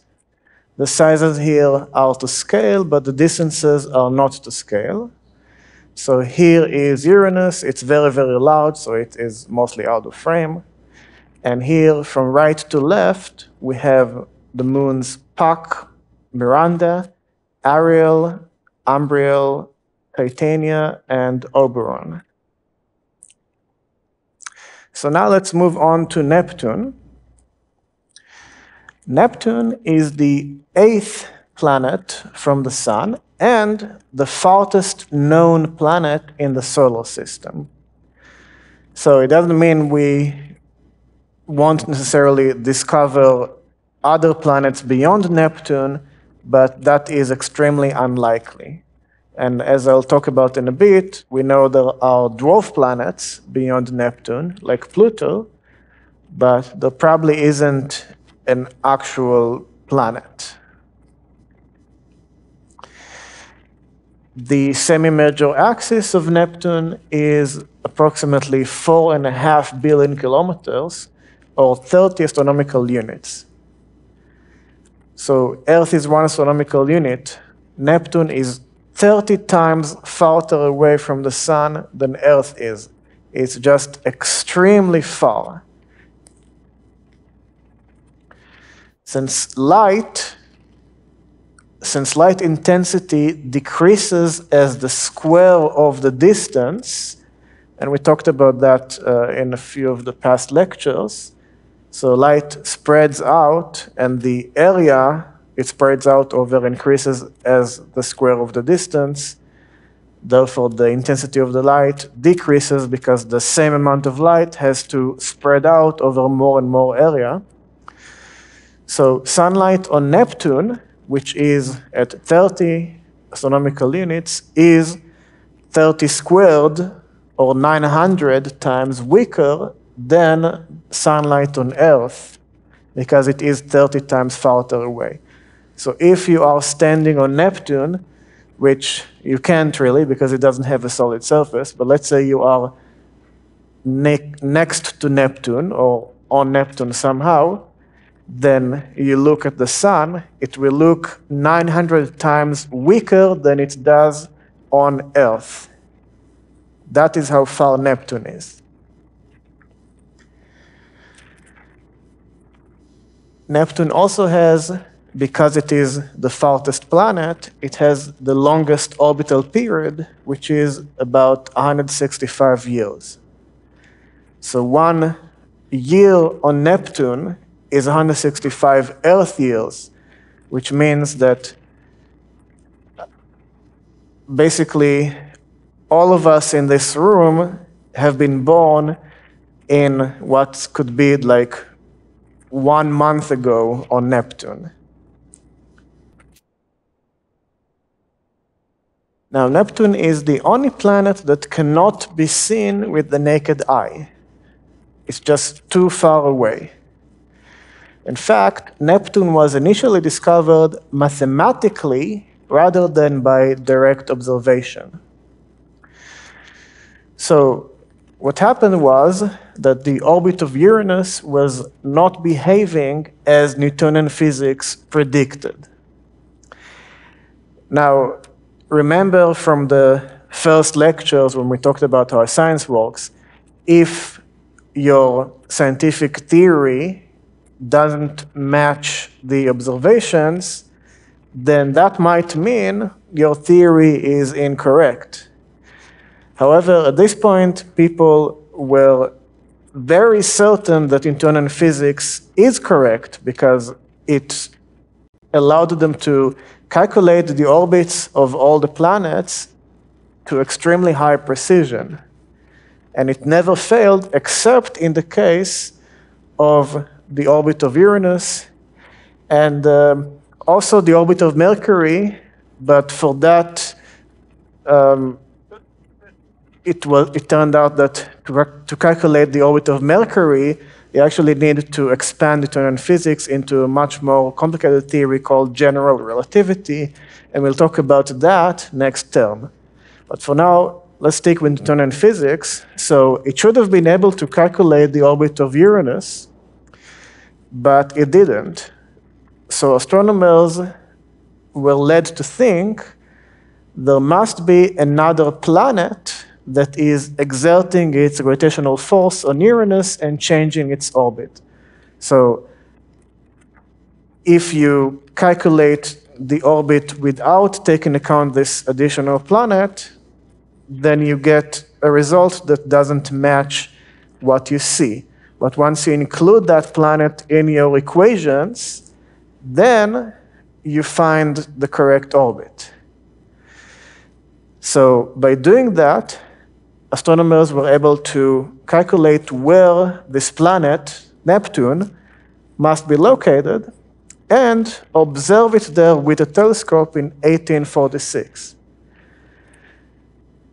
So this is really a, a very interesting case where the reason we knew where this planet should be is only due to the math. We didn't have any idea that it would be there except for these very minor differences in the orbit of Uranus between observation and calculation. Neptune is also an ice giant like Uranus, and its interior is primarily composed of ices and rock. Also, like Uranus, it is blue due to the methane in its outer regions. However, unlike Uranus, Neptune has visible weather patterns. The most famous example is the Great Dark Spot, which is kind of similar to the Great Red Spot on Jupiter that we talked about last time. Neptune also has the strongest winds of any planet in the solar system, with wind speeds as high as 2100 kilometers per hour. So here you can see a nice photo of Neptune taken by the Voyager 2 spacecraft in 1999, And you can see here the great dark spot.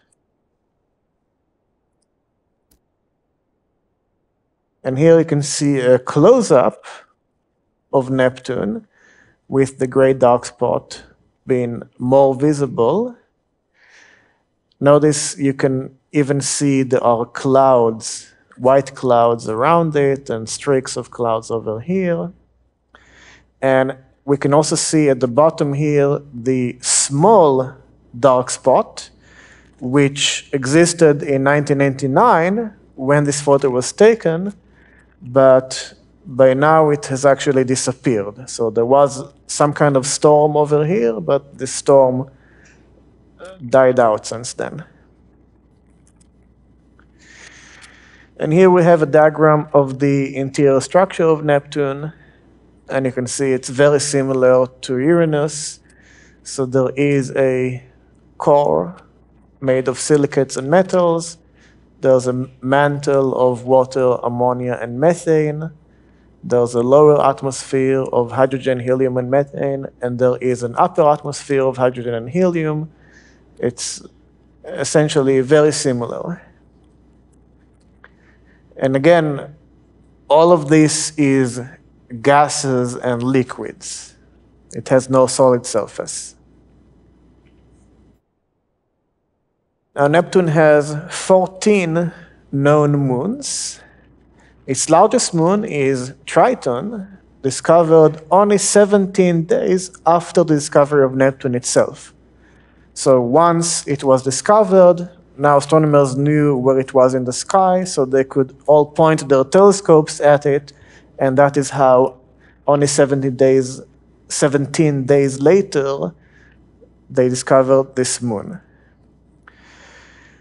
Triton is the only large moon in the solar system with a retrograde orbit opposite to Neptune's rotation. So usually a moon rotates in the same direction that the planet rotates around its own axis. However, in this case, Triton rotates opposite to Neptune's rotation around its own axis. Because of that, it is thought to have been a dwarf planet captured from the Kuiper belt, which I'm going to talk about in a bit.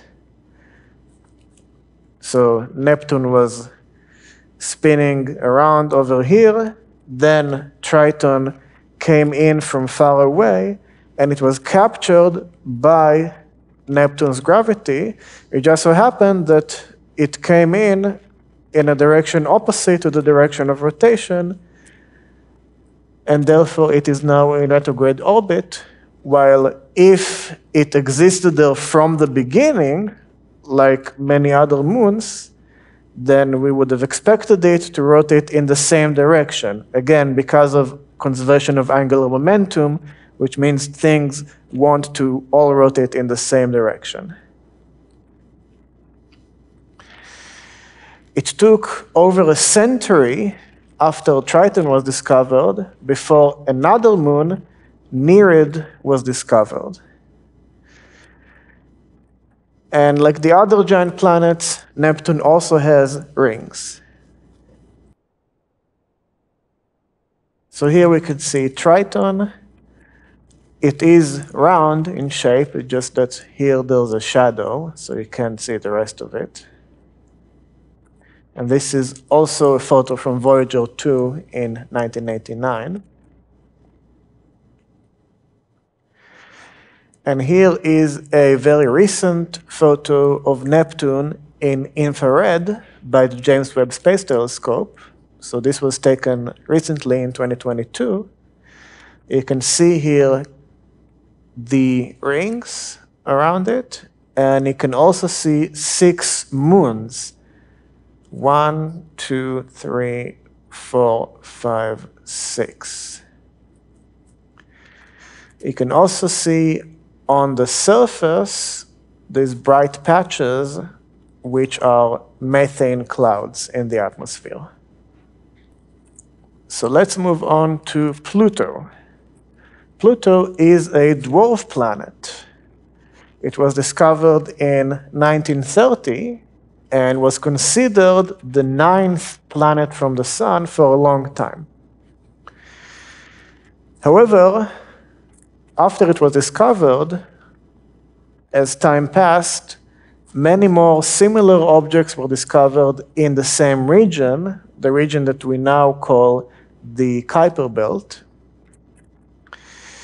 The Kuiper belt extends from the orbit of Neptune, which, like I said before, is approximately 30 astronomical units, all the way up to 50 astronomical units.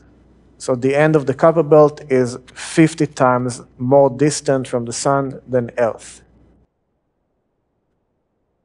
Now, in 2006, the International Astronomical Union defined a planet as any object that satisfies three criteria.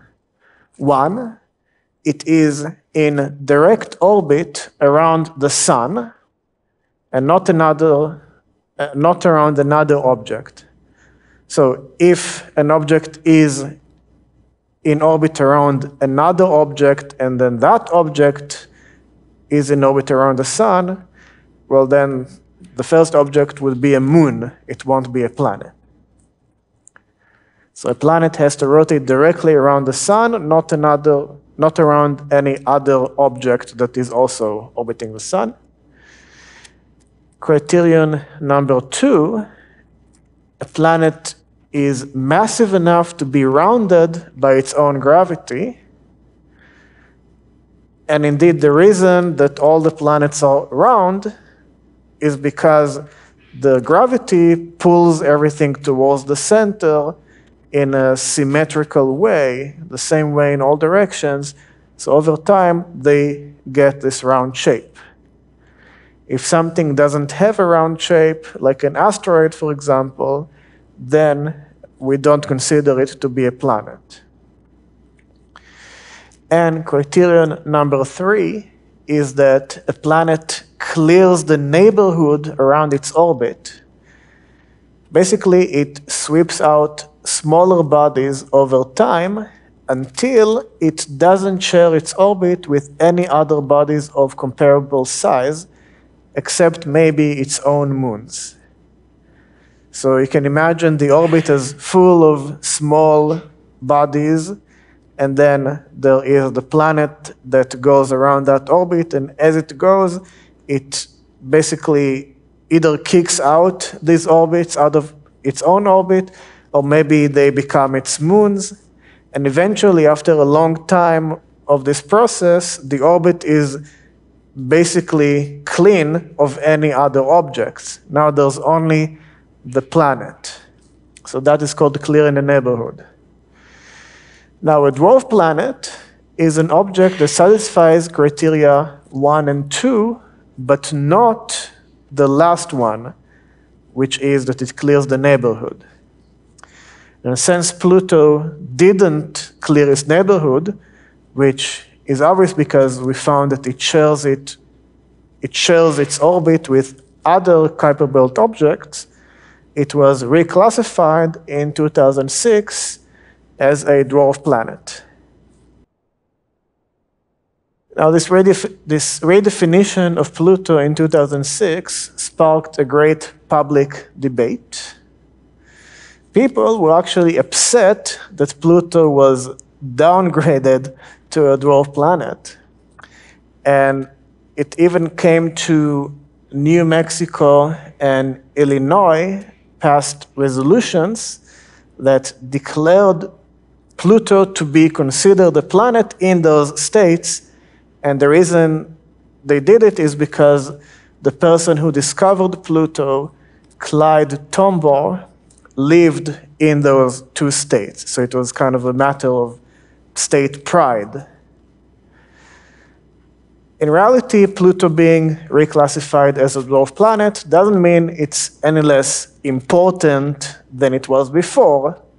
And obviously, nothing changed about the actual object. It just means that we understand the universe better now than we did in the 1930s, so we can give more precise and more useful definitions to things. So now we distinguish between planets and dwarf planets, where planets are large enough that they can clear their neighborhood, and dwarf planets are similar in that they orbit the sun and they are massive enough to be round, but they don't clear their neighborhood. They, they don't clear their neighborhoods. Here we can see a photo of Pluto as seen by the New Horizons spacecraft in 2015.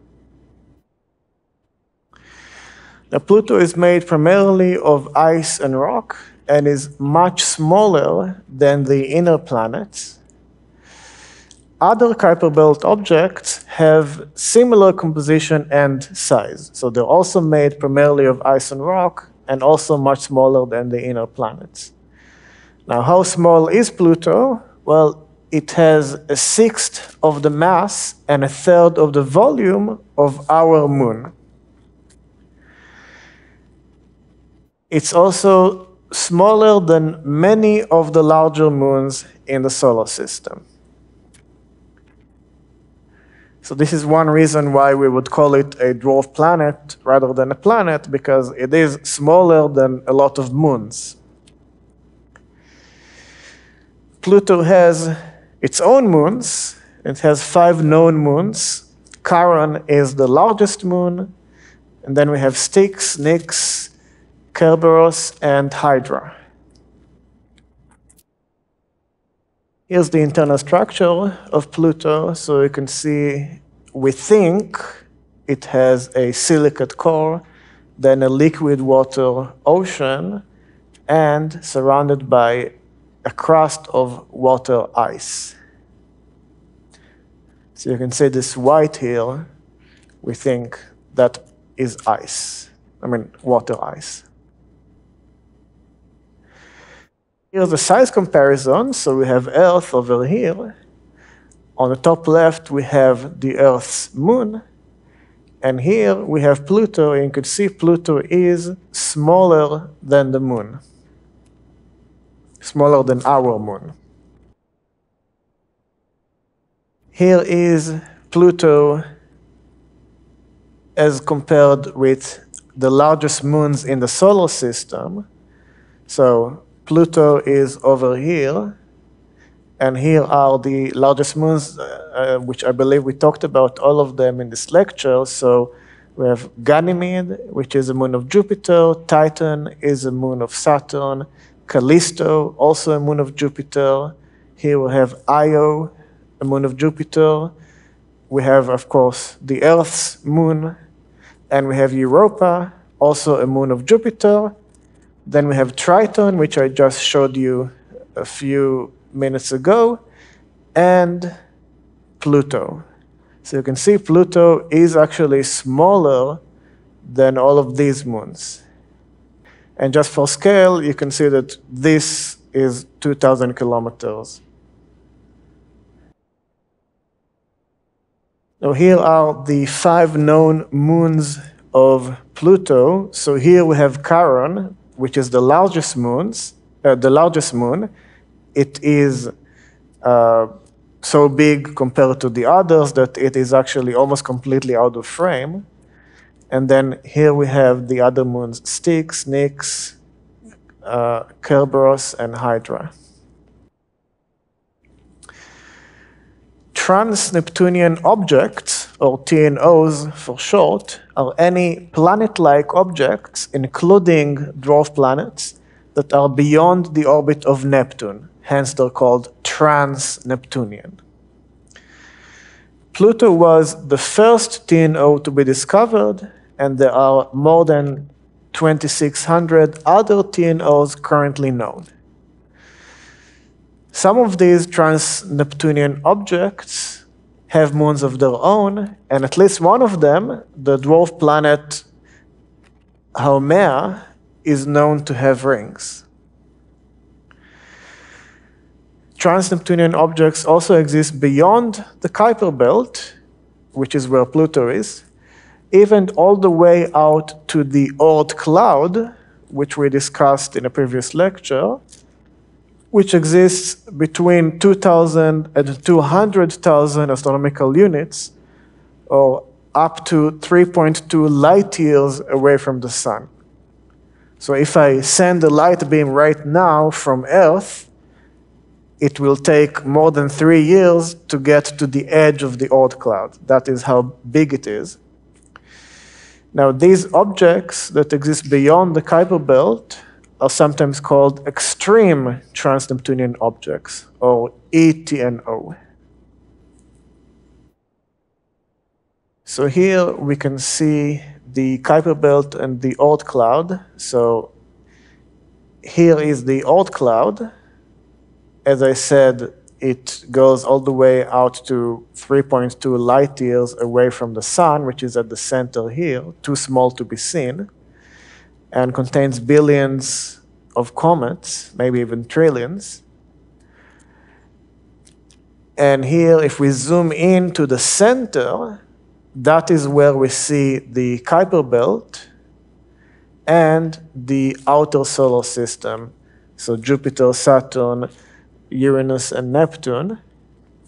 And you can see Pluto's orbit in this zoomed in part. So here's the Kuiper belt is this white region with all these small objects in it. And here is the orbit of Pluto. You can see that it is within the Kuiper belt. And there are also other objects in this belt. For example, here is this object, 1998 WW31, which orbits around here. And of course, here we have the sun surrounded by the outer planets. The inner planets are still, they're just too small to see. You will have to zoom in even further to actually see any of the orbits of the inner planets.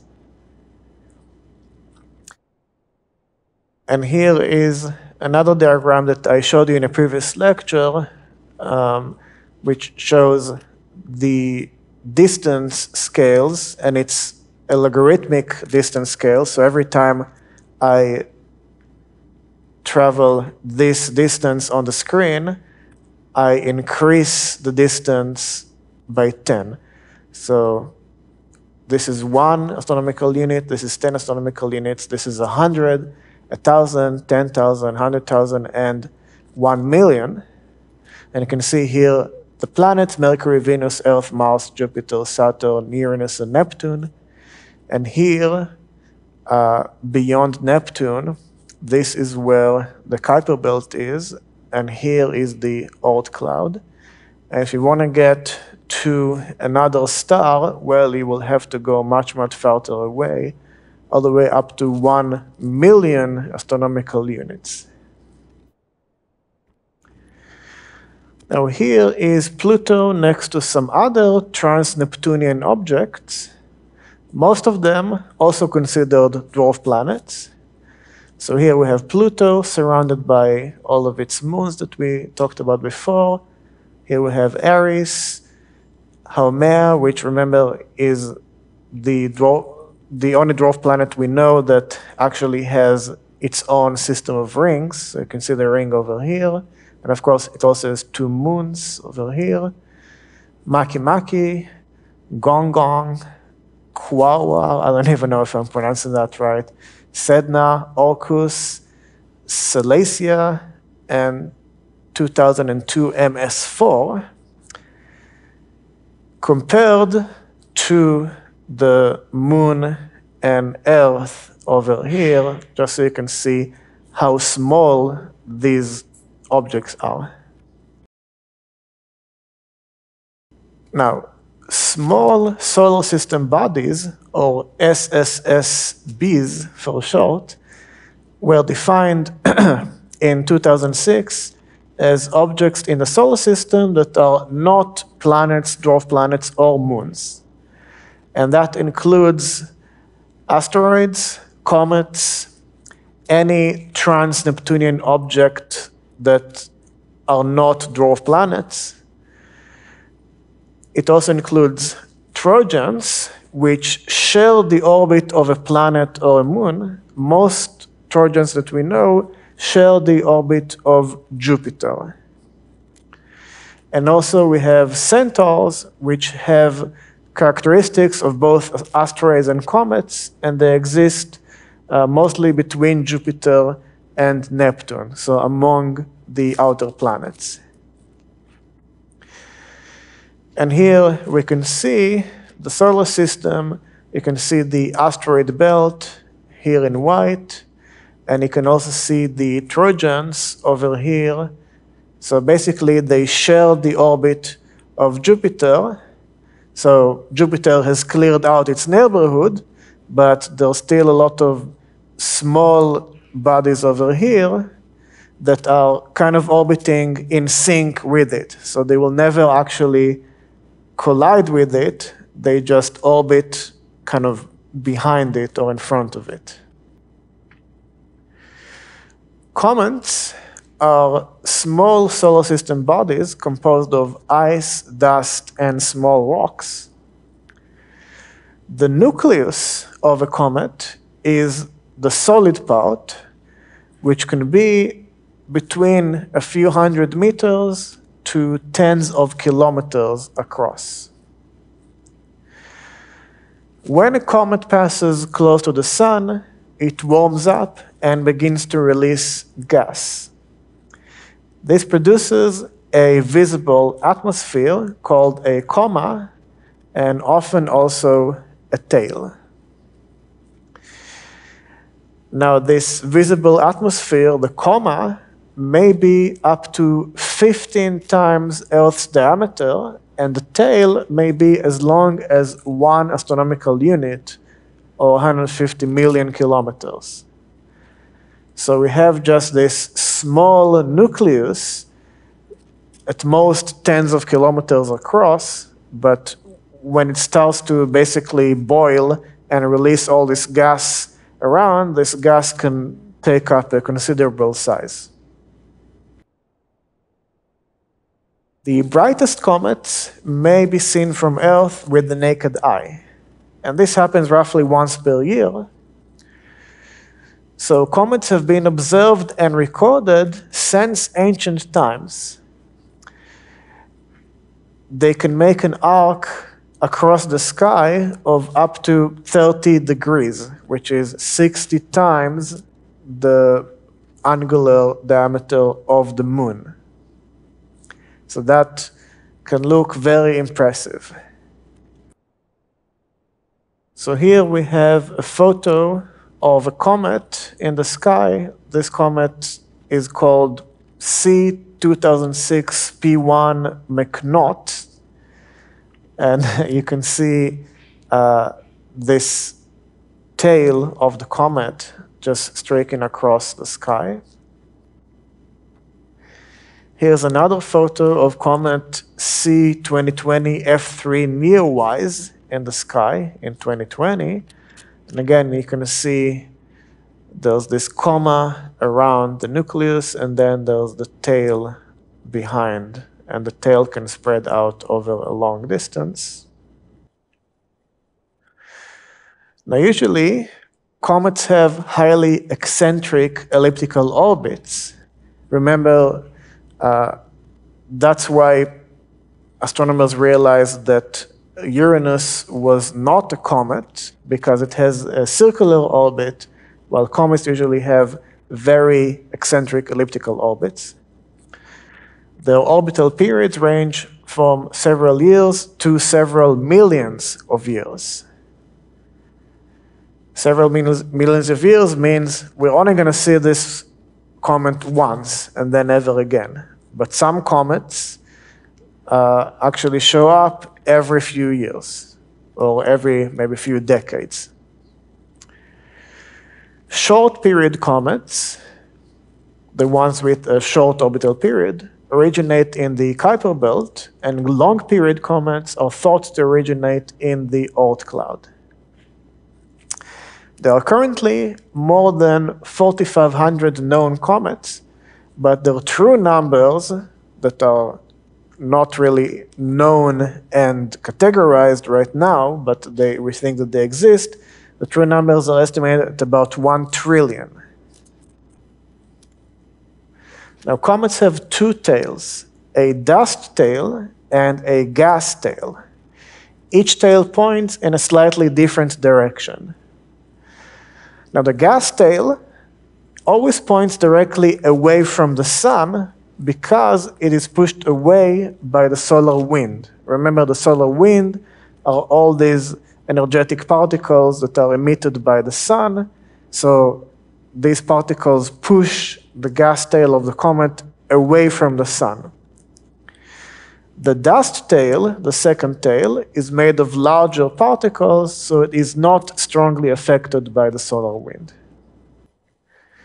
And here we see an illustration. So this is the orbit of a comet, and here is the sun. Now remember, this is a very eccentric elliptical orbit, but it still satisfies Kepler's first law, which means the sun is at one of the foci of this ellipse. So the focus where the sun is, is over here. The sun is not at the center, it is at the focus of the ellipse. And now here is the comet. and you can see the coma over here, and you can see the two tails, the dust tail and the gas tail. And you will notice that the gas tail always points away from the sun. So the sun sends the solar wind in all directions. And when the solar wind hits this gas that is released from the comet, this gas tail points directly away from the sun. You can see it here, and here and here. They all point in different directions, but the direction is always the, uh, the exact direction that is directly away from the sun. On the other hand, the dust tail doesn't point directly away from the sun. It points kind of half away from the sun and half back where the comet came from. But it's, it's important to realize that when you see a comet in the sky and you see the tail behind it, the tail isn't actually where the comet used to be, like you may expect. The tail is actually, it looks like this. You see, it's not along the orbit of the comet, it points away from the sun. And here is an illustration. So here the sun will be way to the bottom of the screen, and the solar wind points in this direction, so this is where the gas tail would be, and then here is the dust tail, not pointing directly away from the sun, but also not pointing along the orbit of the comet, which is this line over here. Okay, so in conclusion, in this lecture, we learned about many different objects in our solar system, and who knows, maybe one day you will even be able to visit some of them in person. If you want to learn more, you can read OpenStax Astronomy, second edition, chapters 8 to 14. These are a lot of chapters because I really just condensed a lot of information into a few lectures and uh, there's going to be, as usual, practice questions posted on Teams. And you may be asking, what's next? So if you want to continue learning about astronomy, then I highly recommend that you take Astronomy 1 P02. It is given every winter term, including this winter, so starting January, uh, both online and in person, just like Astronomy 1 P01 is right now, and also given every spring term, but in an online-only format and heavily accelerated, where basically you learn the same material, but in one month instead of in three months. So I highly recommend, if you're really interested in the material, that you take it in the winter term. And if you can't take it this winter, you can always take it next winter. In Astronomy 1P02, we will learn more advanced material, including stars and galaxies, black holes, curved space-time, and general relativity, dark matter and dark energy, cosmology, and the Big Bang, and about the possibility of life beyond Earth. And I'm even, as a bonus, going to talk a bit about time travel and faster than light travel. So I hope to see you all there. Good luck in the final exam and have a nice break.